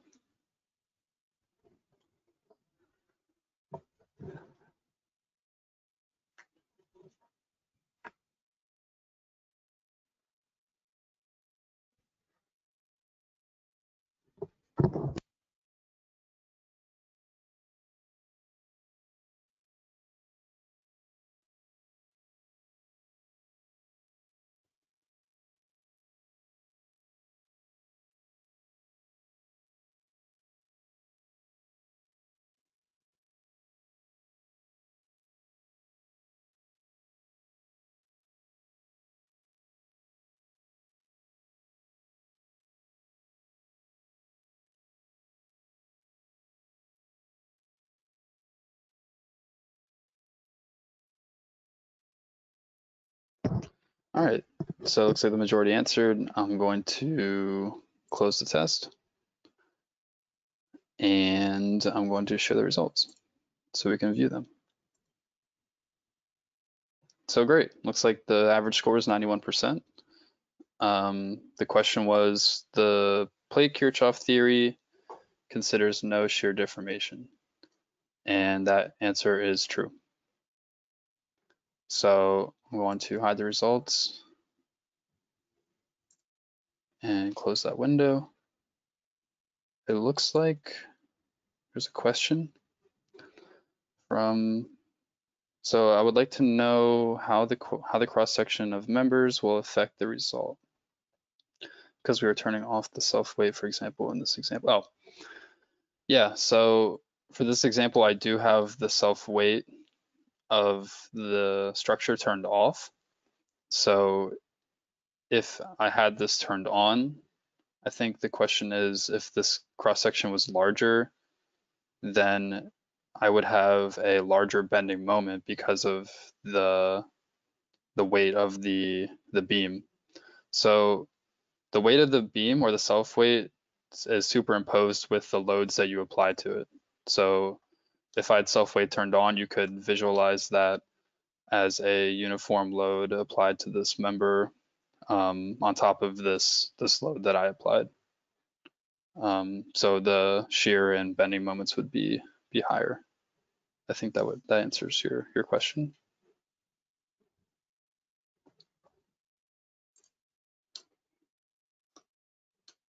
Yep, awesome, no problem. Yeah, so now we can move on to our uh, or the Euler case one example frame. So now I can create a new model. I can just keep this one open. Maybe I want to save it. I can go up here to the save button. Um, models are, are automatically, not automatically saved, but they are automatically backed up. So if your program crashes or something like that, the model will automatically be saved and there will be a, a backup. So that's always good to know. So I'm going to click on new model. And this one I'm just going to name Euler case one. And this one, again, the type of model is going to be 3D. You can enter a description if you'd like. Um, we're not going to generate load cases automatically based on a standard, so I'm going to keep this checked off. Um, and then for units and decimals, I'm going to keep it in imperial units. Again, you can change your units and decimals at any point from, from this button and also under the options button or options menu and the program. I'm going to click OK. Saying this model already exists, so I'm just going to name it example two. Click OK. And now a blank a blank work area should pop up with my grid here in the XY plane. And now for this example, I'm going to create a one, I'm going to create one new single member. So I'm going to go up here to my new single member button. And then I'm going to create a new cross section. So I'm going to go over here, down here to import from cross section library under cross section. And this cross section is going to be an I-beam. So under rolled, we have our I-beams here or I sections. I'm going to click on that. And under I sections, I'm going to have a W shape section here. On the left-hand side here, we have our filter again. So we can filter to lots of different standards here. For this example, I'm just going to be using the AISC American standard. Then the manufacturer standard, I'm going to keep as the latest 2015 standard. Maybe I want to filter to exactly a W shape or I section, I can do that. And then on the right hand side here, you see you have your long list of different W shapes that I can pick from. And if I click on one, you can see it'll give me the dimensions over here on the right hand side. For this example, I'm going to use a 12 by 35 I section. So click on that. And then the material, you can choose down here. You can click if you want to change this material. I'm going to keep it as CLA 992, but for this example, let's say you want to change it, you can go to the import from material library. And this should look familiar from the last example. You can filter to metal and then category and standard group as well. So I'm going to keep this all the same. I'm going to click OK. And now you can see that under cross section, here we have our I-beam. Maybe you want to get some info about this cross section, you can click on this I button here. And this info section will give you lots of cross-section properties and their values in units. So we can view depth, width, uh, shear area. We can view our moment of inertia. Looks like there's a question. May I know if there will be plans in the future to include the Australian slash New Zealand profiles into the library? Um, I think, Amy, do you, would you know that offhand?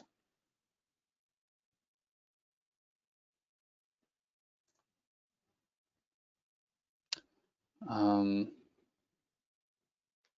I'm not sure if you are muted, Amy, or not, if you're still here.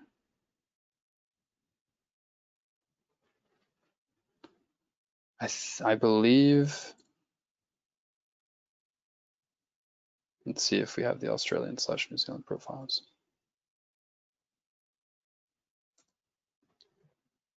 I can go under my cross sections in the cross section library. And once that opens up, yeah, I'm not sure offhand if if we have those or not. And I can always just let you know later on through email if we're going to add those or if we have them. So yeah, yeah, I can find out for you after this. Oh, did you? Okay. Um, Yeah, I I'll comment on that. We do have those profiles. I know we have Australian profiles. Um, if New Zealand follows the same code, mhm. then those should be available within uh, directly within RFEM. So Okay.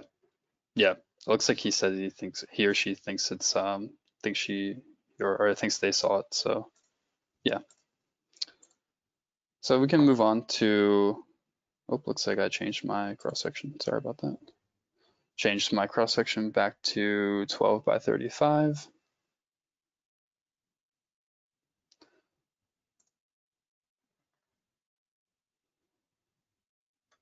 My computer's lagging along here a little bit, so we'll just open this back up and I can change this to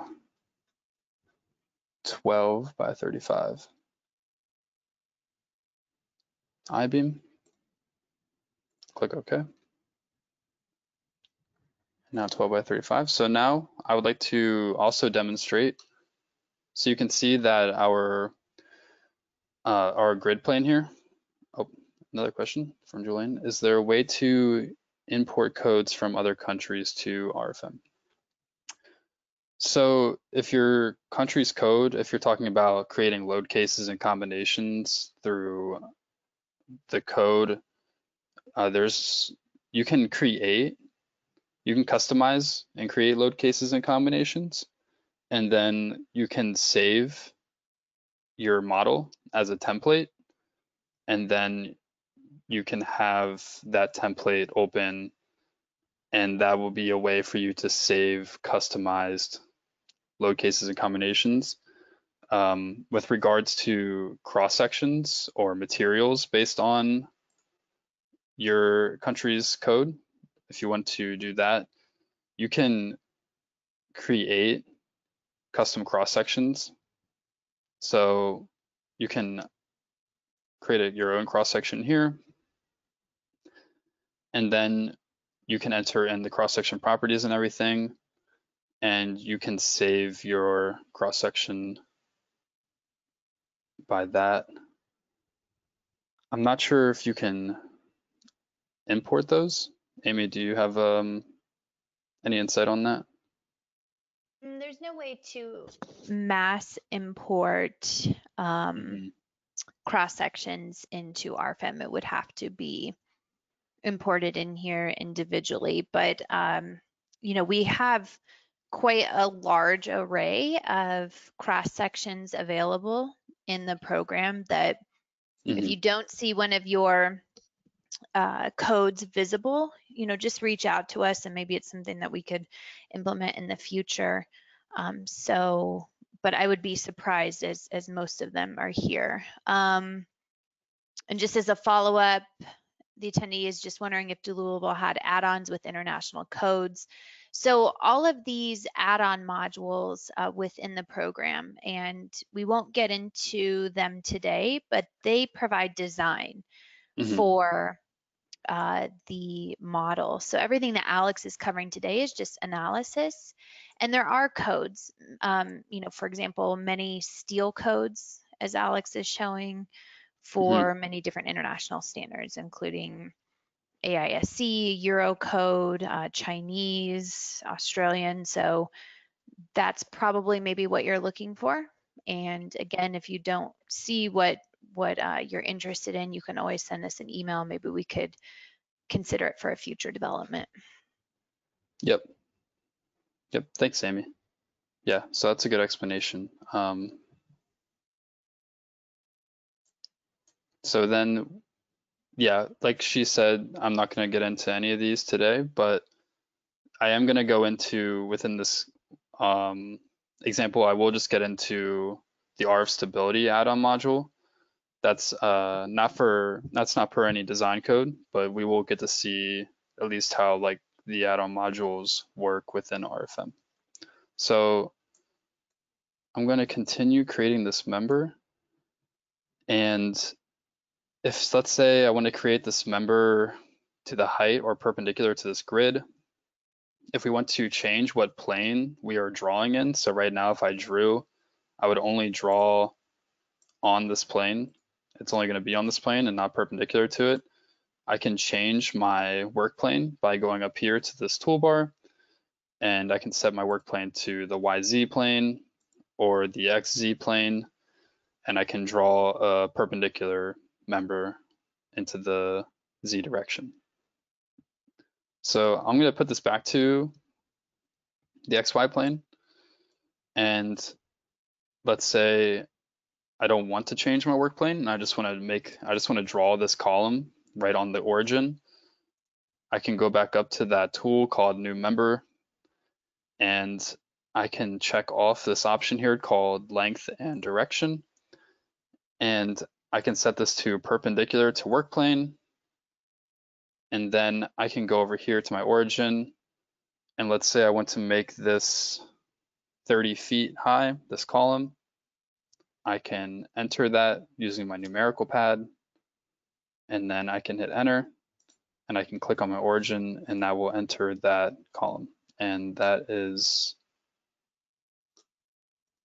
one second. That is not 30 feet high. So I can easily change this. I can just highlight this node. I can double click on the node and I can make it 30 feet high in the Z direction by editing this coordinate here. Right now it's only 3.28 feet high. I can enter 30.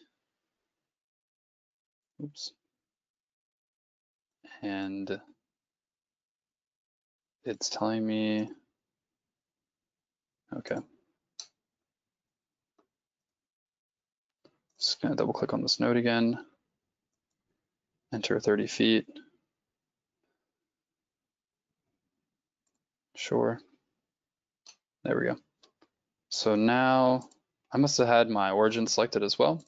So that's the reason why it was giving me that message. And I'm just going to make sure, yeah, so, okay, I see what happened, yeah. So I had my origin selected at the same time. I'm just going to delete this top member. And now we have our column that's 30 feet high. So now I would like to add a load. So again, to add loads, or actually, I'm sorry, before we add the load, I'm going to highlight this bottom node here, and we have to add our supports. So I'm going to add a rigid support to the bottom of this column. So this is going to be a nodal support. And I want this nodal support to be fully rigid. So you can see these check marks are telling me that it's fully rigid and fixed in translation and also rotation. So I'm going to click OK. And now you can see that that support has been added to the bottom of my column. And it looks like it's a round three. So before I add in the loads and go through the calculations, I'm just going to give everyone a five minute break and we can come back here at 310. So we'll take a quick break.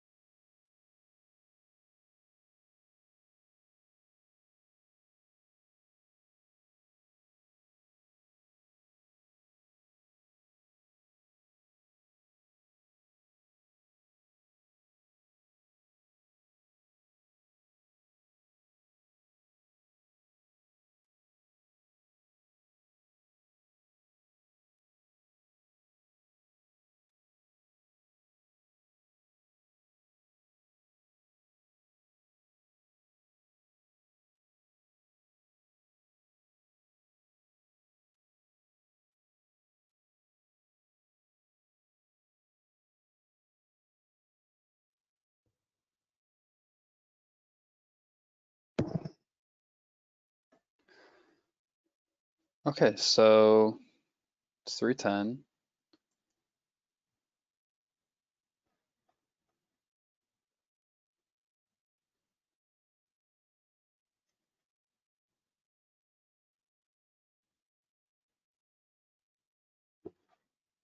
Okay, so I see the question.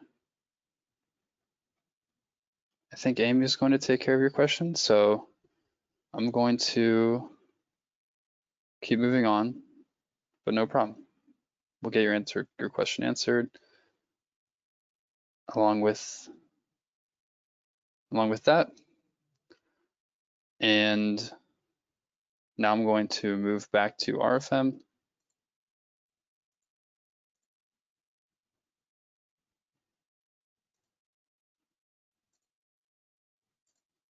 And then we can continue on with the Euler case one example.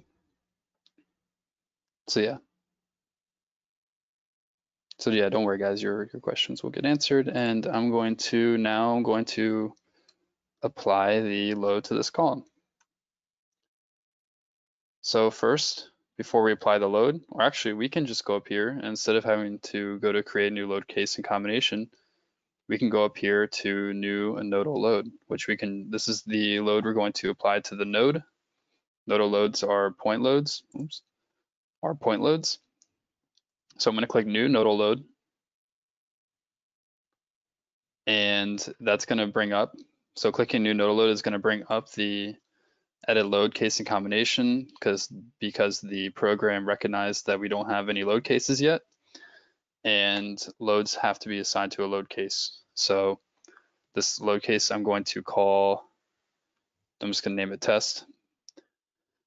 And it's going to be in the action category dead. And again, I'm just gonna turn off the self weight. So I'm just gonna put in this name here and self weight off, just so we know. And once that's done, I'm going to hit OK. And now we can apply our loads. So the program is smart, smart enough to know that now we want to apply our load. And this, for this load or nodal load, I'm going to apply a negative five kip load um, axially. And then I'm going to apply a two kip load laterally. So in the X direction, and then the one axially, will be applied in the Z axis. And you can see that in our diagram down here. That will give you an idea of what the loads are going to look like. And I'm going to click OK. And now you can see my cursor has a arrow next to it. I can select this nodal load, right click, and I can rotate the structure and you can see that those loads have been applied to the top column. So now I want to now I want to show you something important. And this is very important to know when working with our software is that if you go up here and we'll run our calculation and the calculation internal forces and deformations will be calculated. And if I look at the side view, I can see my global deformation is at 3.78 inches, and that's in the X direction. We can also go over here and view our internal forces of this column or member.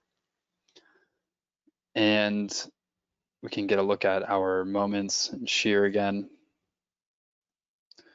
And now I want to show you how this linear or first order calculation differs from a second order calculation. So we'll go back to looking at our global deformations. And now I'm going to open up the load cases and load combinations window again. So I can do that by going up here to this button, going to the drop down and selecting load cases and combinations. And so generally under this load cases tab, load cases are calculated based on a first order analysis and load combinations are, are calculated based on a second order analysis. That's just by default and those can be changed. So under load cases, for example, I can go to calculation parameters And you can see that load, the load cases for the method, uh, method of analysis, we are set to a linear analysis. And you can change this to a second order analysis. So maybe you recognize second order, second, or maybe you recognize second order analysis from the phrases little p delta and big p delta. And you can change these. So let's say I want my load cases to be calculated based on a second order analysis. I can change that. And the difference between these two is a first order analysis assumes that the equilibrium of the beam or column uh, on is based on the undeformed system and the second order uh, assumes that the equilibrium or it sets the equilibrium based on the deform system. So I'm going to set this to second order. And maybe let's take a quick look at re results again, just to see them. So right now, these are first order results. These are set to geometrically linear. And if we look at our moment diagram for, let's say we look at our moment diagram for the moment about the y-axis. Right now, our max is negative 60 um, kips, or no, sorry, uh, kip per feet. I'm sorry, kip feet. And then we, if we switch this or switch our calculation method or method of analysis back to a second order analysis, and we can do that again by going under calculation parameters. We'll set it to a second order analysis and we'll hit OK. You should see, or we should see if we run our results again.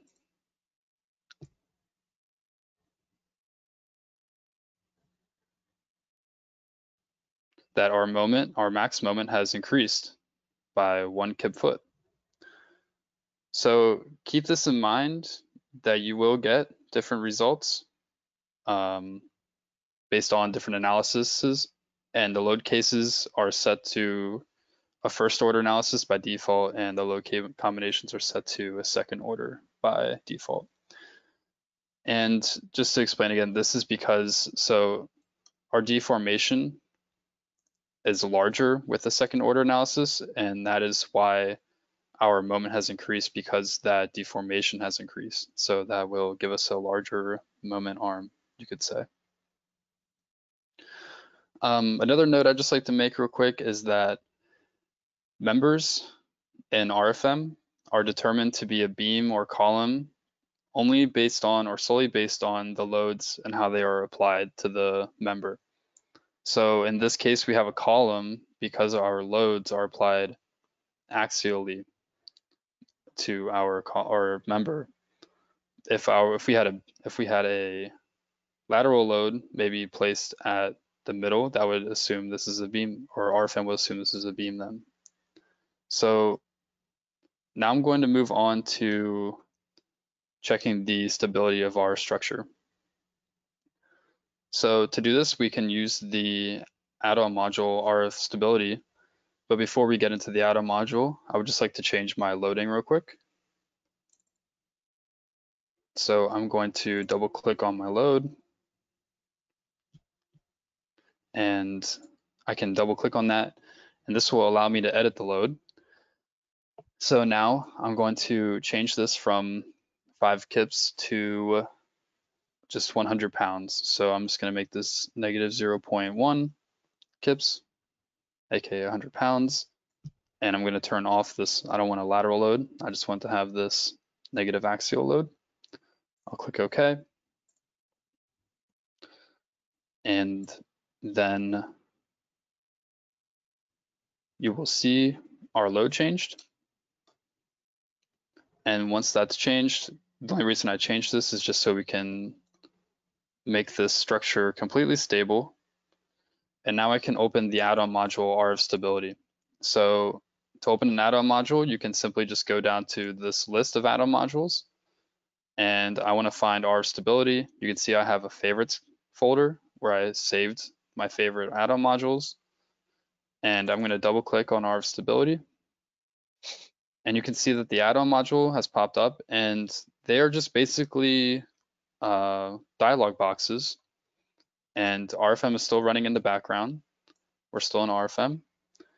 And so our stability uses the help of eigenvalues and different eigenforms to perform a stability analysis.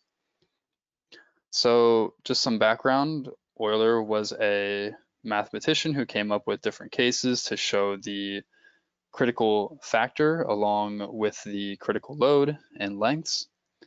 This is something every stability analysis does. In order to get the different buckling cases, I will deactivate the minimum initial pre-stress for cables and membranes right here. And then it is also important that we activate the division of straight members. So this is already by default activated when you go into the RF stability add-on module. We can also edit the FE mesh settings for members with this button right here. So I'm going to click on that. And for more accurate division of my member, I'm going to go down here to minimum number of member divisions. And I'm going to change this from 2 to 10. And I'm going to hit OK. So basically all these other options are, are as default, and I'm going to leave everything as default, and I'm going to hit calculate. I'd also like to mention that the load case is set to load case one. So that's there.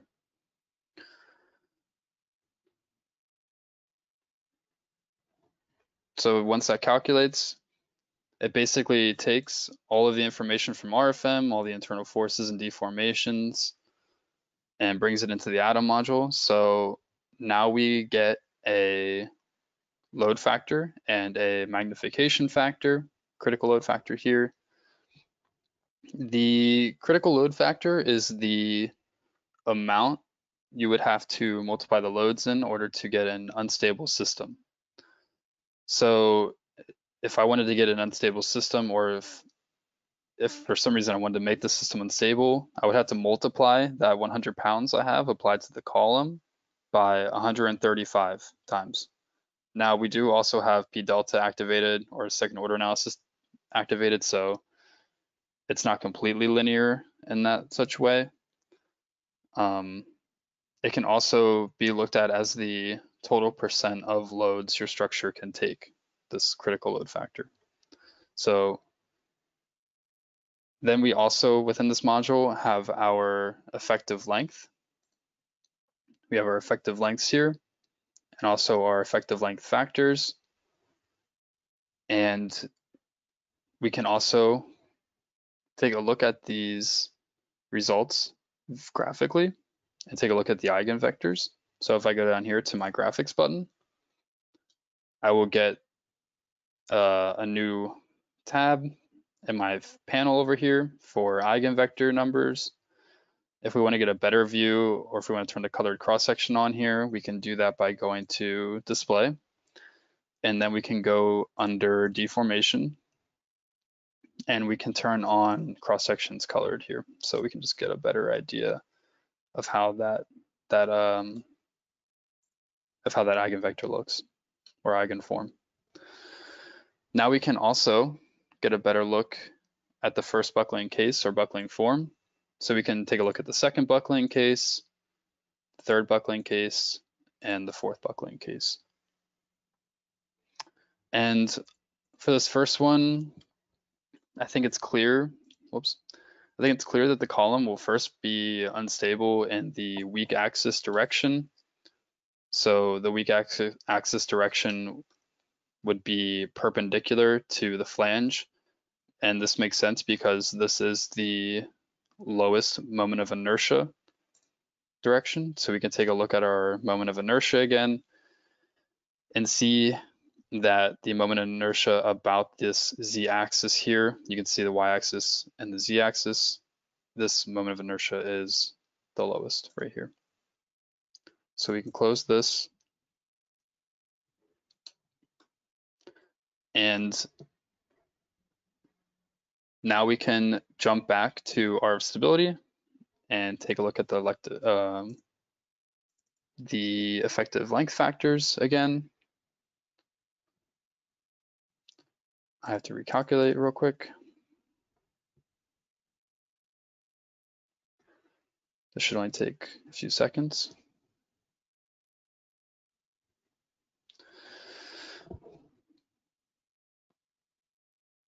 And it's back up. So now we have, again, our effective lengths here and our effective length factors.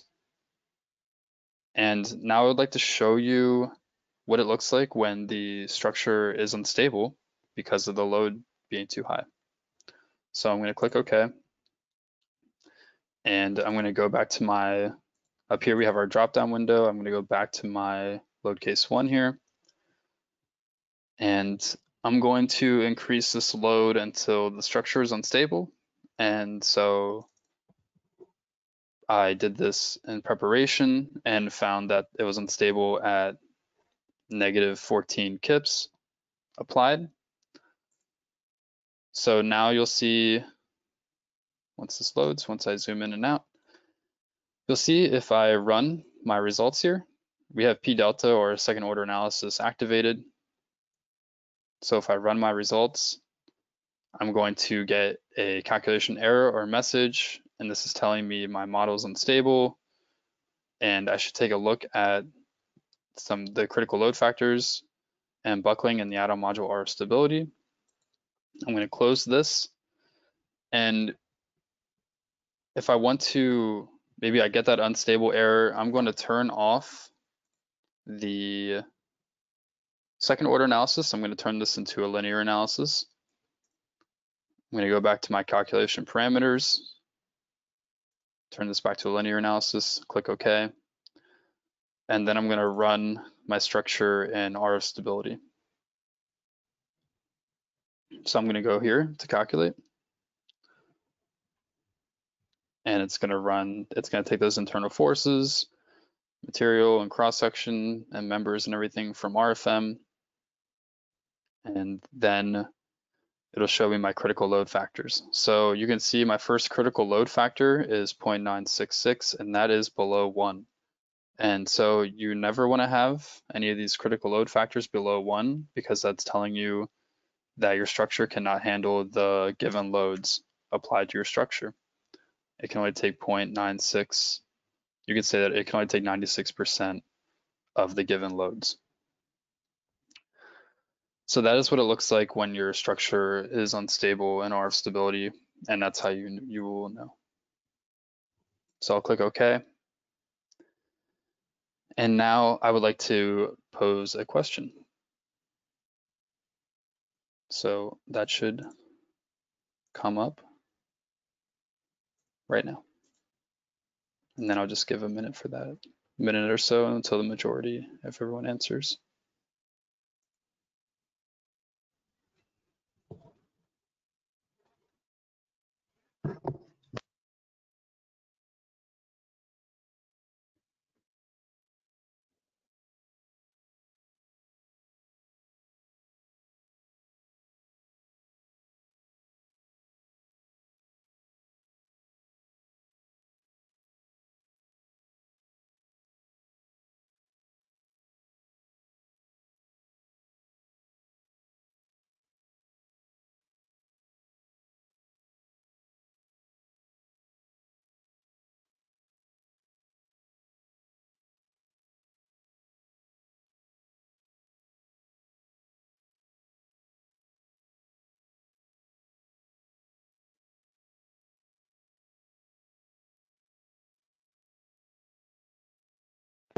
All right, I'm going to close this test.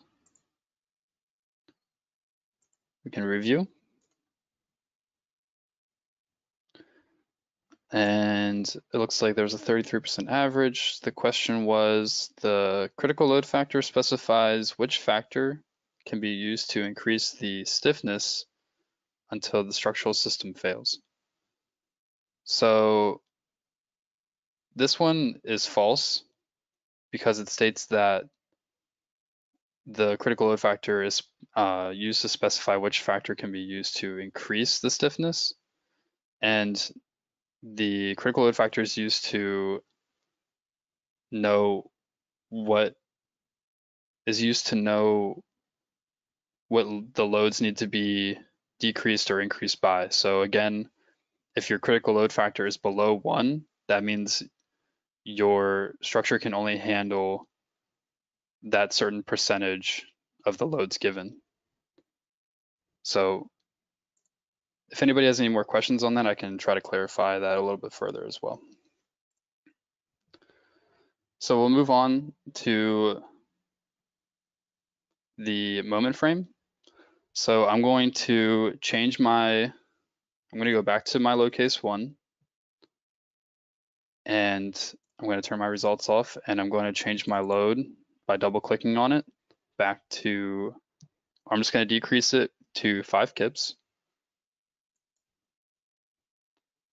And I'm going to have only the axial load, no, no lateral loads. I'm going to hit OK. And I'm going to change the height of this column by highlighting my node and make sure, making sure only one node is highlighted this time.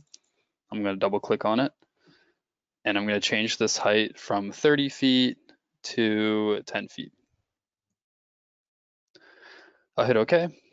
And I want to create this moment frame. And the easiest way to do that is to simply highlight my whole entire column here. And then I can simply hold control, drag, and make a copy of this frame. And then I can create a beam. So I'm going to go up here to new single member. And then I'm going to go to import from cross-section library.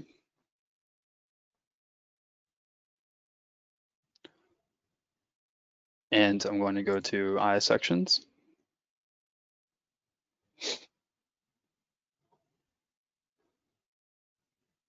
And then everything's set, so I just want to go to sections 8 by 15. So the beam at the top of this moment frame is going to be an 8 by 15. My material set is still A992. I'll click OK. I'll click OK again. And now I can draw my beam. Whoops. Let me just get a better view of this. I can draw my beam by selecting and left clicking on the top node here. And I can draw it across and I can select the node on the top of my second column. And now we have our moment frame here. So now I can run a calculation on this moment frame as well. And that should only take a split second. And now I can take a look at my global deformations. I can see them only in the Z direction if I would like the Z component, or I can just have the result component. And then I can also take a look at my, my internal forces. So I can take a look at my moments. And right now my moment diagrams aren't being shown. So let me just turn this on.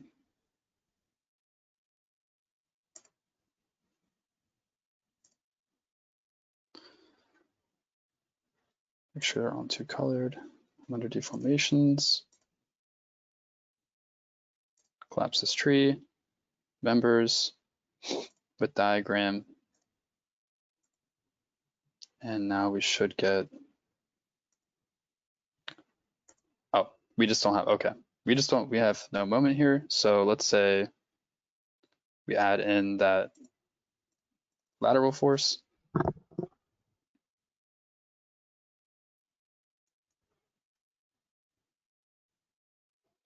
Add one kip here, click OK. Add to this one too.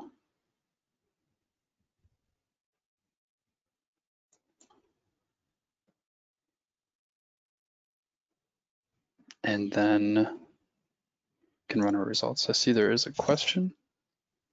Yeah, so we have a question saying, is it by default the analysis will segmentize the column into 12 smaller segments?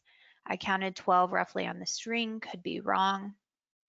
And this all comes down to uh, essentially just the settings within the calculation parameters uh, of how a Mhm. beam is divided. Um, for this one, you can place FE mesh along the uh, straight elements. So under FE mesh settings, Right, yep. I can show that real quick as well. yeah. FE mesh settings. So you have the checkbox here to activate member divisions um, for straight members, which are not integrated in the surface.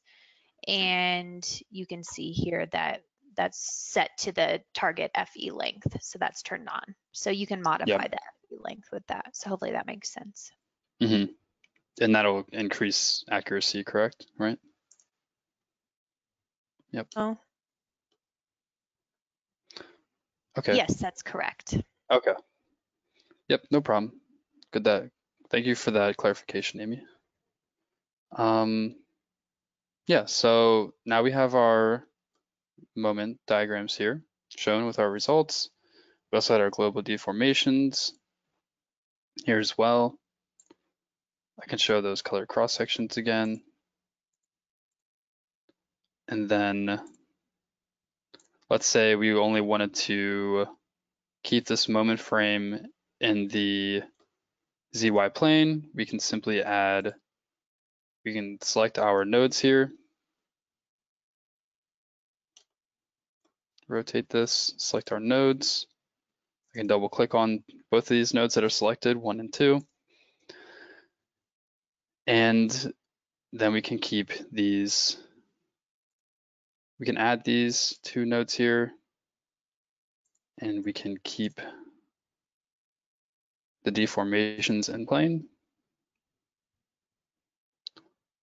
So translation, I don't want them to move in the X, but I do want them to move in the Y and Z. So I can turn that on and keep rotation all unlocked. Click OK. And then I can run my results again. And then we can also take a look at our stability and make sure that our moment frame is stable. So there you go. Our deformations are in plane.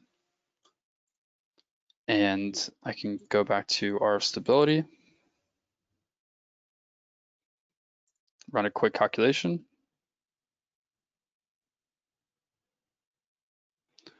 And our stability will give me the critical load factor. So it's well above one. It's at 81. So we are completely safe with these loads applied.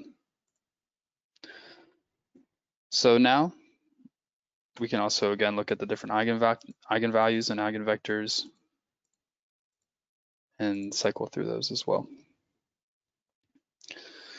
So is there is there any um any questions so far from any from anybody? See there's another question. So is there a rule that if the factor is less than 10, a nonlinear analysis is required?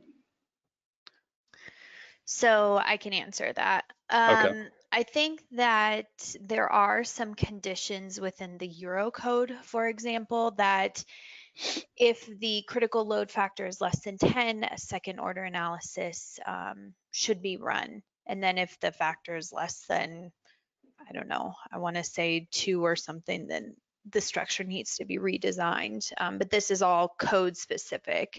And Mhm. here within the AISC, we do not have requirements that I'm aware of. So it all just depends on which code you're designing to. Okay.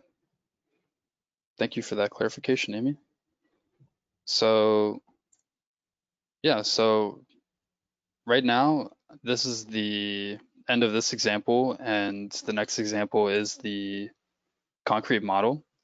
Um, if there isn't any more questions, I can move on to the concrete member or model, but we can take this time right now if anybody wants to ask more questions, or we could have just an open discussion.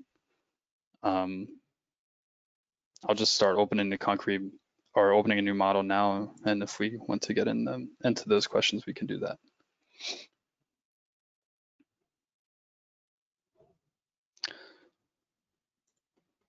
So I'll open up a new model and I'll just name this one concrete model two. And with the concrete model, we'll have, it'll be a 3D model and it'll be according to uh, the AC, ASCE 7, 16. And with this model, we can create our combinations automatically, our load combinations, and everything else we can keep the same by default.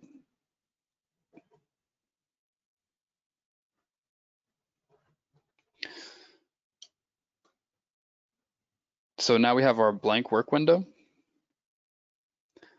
And I'm going to uh,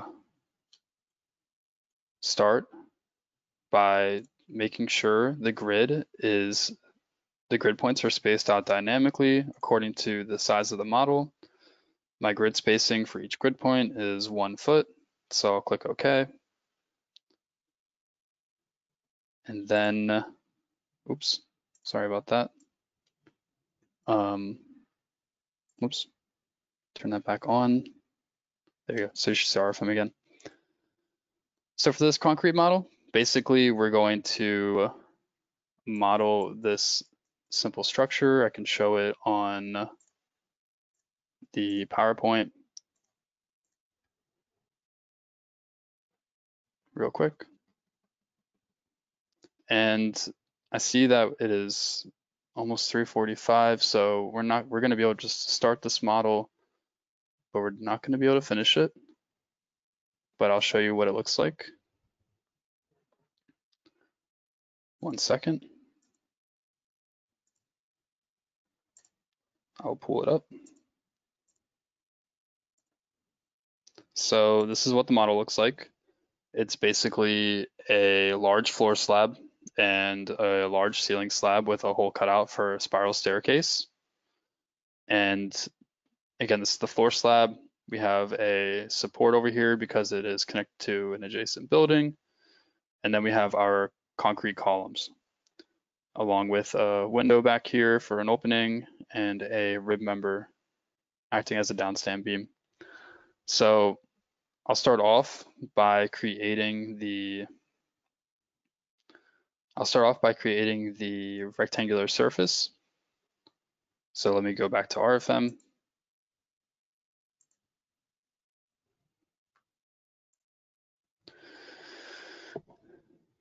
So I'll go up here to my rectangular surface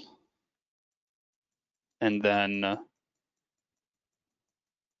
I'm going to select a material. So right now it's set to CLA 992 and I'm going to set it to concrete 4000 psi. After a while, after using these materials so often, they're just set in here by default. And then the thickness of this floor slab is going to be eight inches. So I'm going to keep that as default, and then I'm going to click OK. Now the beginning of this floor slab is going to be connected at the origin and the whole thing is going to be 46 by 40 feet. So we're going to go up here to 46 and in the Y 40. Click there. Let me check the, okay. So it looks like Amy is answering your questions. Yeah. Okay. So now I'm going to move on and create the nodes that are going to act as our bottom of our columns here. So there's multiple ways you can model with an RFEM. I'm going to show you that you can take this node from this origin and just make a copy of it. And I can move this node using the move and copy tool. I'm going to make one copy of the node and it's going to be moved two feet in the X direction and two feet in the Y. I can hit enter and that node is created. Now we can use that node as a basis for laying out the rest of our columns onto this concrete slab here. I'm going to select that node again and I'm going to make two more copies of it. So two copies and the displacement vector, I only want to go, I only want to make two copies at 16 feet in the X direction. So I'll click OK. And now you can see that these two more nodes in the X direction, 16 feet apart, have been created. And then since we're gonna have four columns in this row, I'm going to just simply hold control, copy this node, and it's gonna be symmetric to this left-hand side node that we have here. And then I'm going to copy this whole entire row of nodes. So I can hold shift down, just like in Windows, you can hold shift or control down to select multiple things. I must have moved this third node here. I'm going to control Z to undo. There we go. Oh, I didn't copy it, so hold control, make sure controls hold down, held down, copy that node. There we go. So now I can select all four of these nodes. Oops. And then I can just right click on a node and hit move and copy. And then I'm going to make two copies of this row and it's gonna be moved 13 feet in the Y direction. So now you can see that we have our layout of our columns here. And you'll come to learn that copy and move, the copy and move tool in RFEM, it can be your best friend at times when doing things that are symmetrical like this. So always keep that in mind. And then after, so after that arrangement is done, I'm going to show you that you can also go into your display tab down here in the project navigator. And maybe I want to view the numbering for my nodes and lines and etc. here. So I'm going to turn on numbering. And now you can see that I get the numbering for my nodes, my lines, my surface, and this kind of just gives you an idea of, or just kind of allows you to be more organized with uh, with your model data. So now I want to create the walls for my perimeter here. And to seg segment these lines, I'm just going to divide them to give me the length of my wall. So I can do that by going to divide line, graphically, and then I want my wall to come out from this corner right at this node here. So that's going to be at 12. And then I also want the wall to come out from this node right here to line up with this, this axis here. So I basically just divided, whoops, I basically just divided this line here because this is where the wall is going to connect here. So that's one way to divide lines. I just did it graphically. You can also do it with the other two options under the divide line tool. And now I would like to create my semicircle surface over here that's going to be the basis of my spiral staircase. So I'm going to go up here and under the rectangular surface tool here, there's a little arrow that you can click and you can see that we have a multitude of tools here where you can create almost virtually any shape surface you'd like. I'm going to use the semicircle tool my semicircle is going to have the same material properties and thickness as my surface here. Another thing to mention is there's multiple surface types and, and member types that you can choose from. For surface types, the stiffness you can change to maybe an orthotropic stiffness where you can customize the stiffness. Maybe you just want to make a null surface that does not supply any stiffness or rigidity to your surface. You just want it for a reference. You can also use completely rigid uh, stiffnesses to maybe distribute a load onto something like that. So for this, we're just going to keep this standard. I'm going to click OK. And the radius of this semicircle is seven feet. So I'm going to draw the origin or the center of it seven feet away from this top node here. So that's going to be at 4640 or no. No, it starts at 4640 and it goes down to 4033.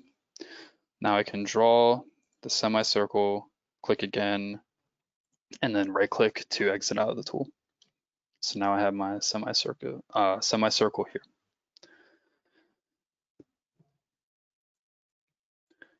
And so now that our bottom slab is created, we can move on with creating our ceiling slab. So if I, an easy way to do this since our ceiling slab is basically the same shape as our floor slab, again, we can use our best friend move and copy. So I'll select the whole entire slab, hit move and copy. I just want to make one copy and I just wanted to be displaced um, 11.83 feet vertically in the Z direction. So I'll hit OK. And now we have both of our slabs here. I can look at this in isometric view to get a good look at that. And now I want to look at the top-down view or the reverse Z direction. So I'm looking at the looking at this from the top. I can also get a perspective view. So maybe I want to be able to see both my ceiling and floor slab. So there's a question. Can the copy function also include copy load? Assume the load, assume the loads are already pre-assigned to the model. Yeah, so if I if I had a load or point load I'm just going to apply a point load real quick. I'm just going to make this that. So if I apply a point load, as my computer catches up, I can do that. I'll just make it, I don't know, negative one kips. Click OK. Put a point load there, and then take this out of its uh, perspective view. I can copy that load and select it.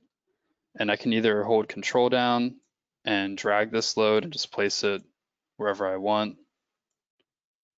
And you can also use the move and copy tool to move, make a copy of the load and move it wherever you want.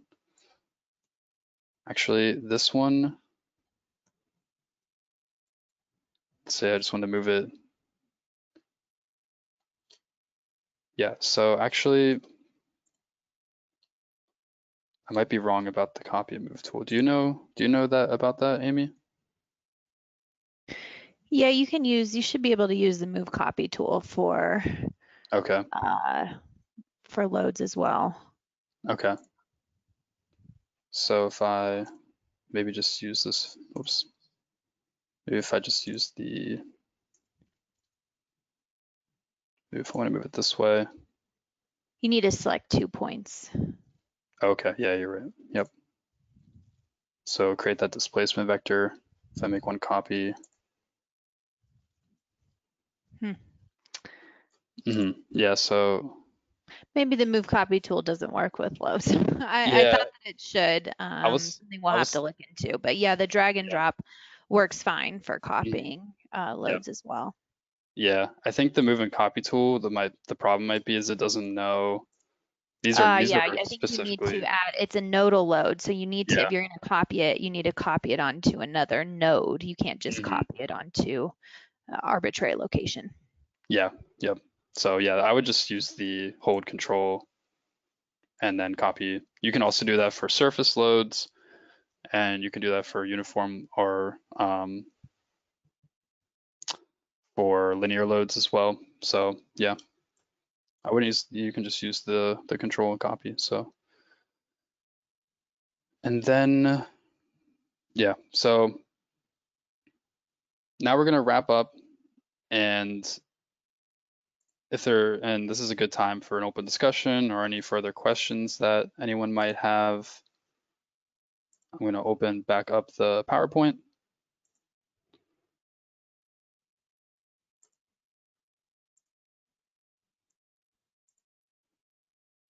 And feel free to ask any questions.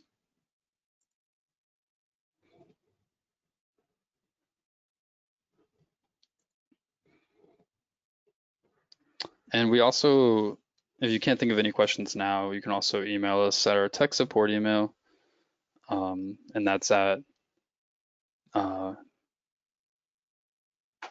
that's at info-us at dlubal.com. So um, question, how to merge, oops, how to merge two surfaces. So I'm not sure if I completely understand the question. So I think that if there are two surfaces lying side by side and you're asking how to merge the two together, um, the best option is to you have the boundary lines for the two surfaces that exist. Just click on one of the surfaces and completely delete it.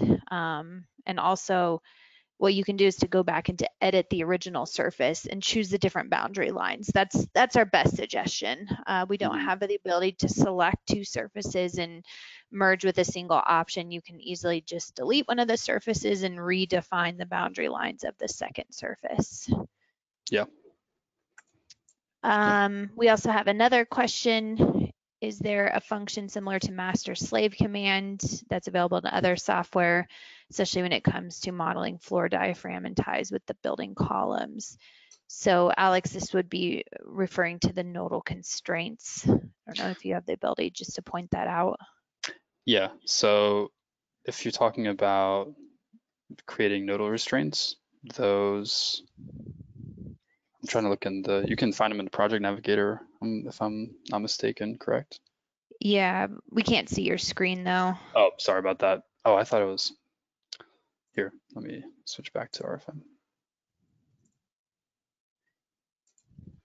Yeah, Yeah, so so- under in the project navigator, a little bit further down, right there, Um, is yep, nodal, uh,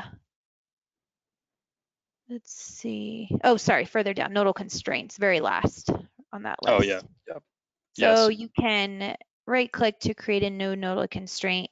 This gives you the option in the drop down box of either a diaphragm type behavior um, or equal condition. Um, so diaphragm, you can see the equations listed here, and then the equal condition uh, would just simply be essentially drawing a rigid link between two of the members, but this would be the option of what you're looking for for representing a rigid diaphragm.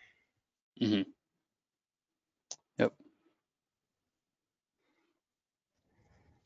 Okay, yeah, so great questions. Um,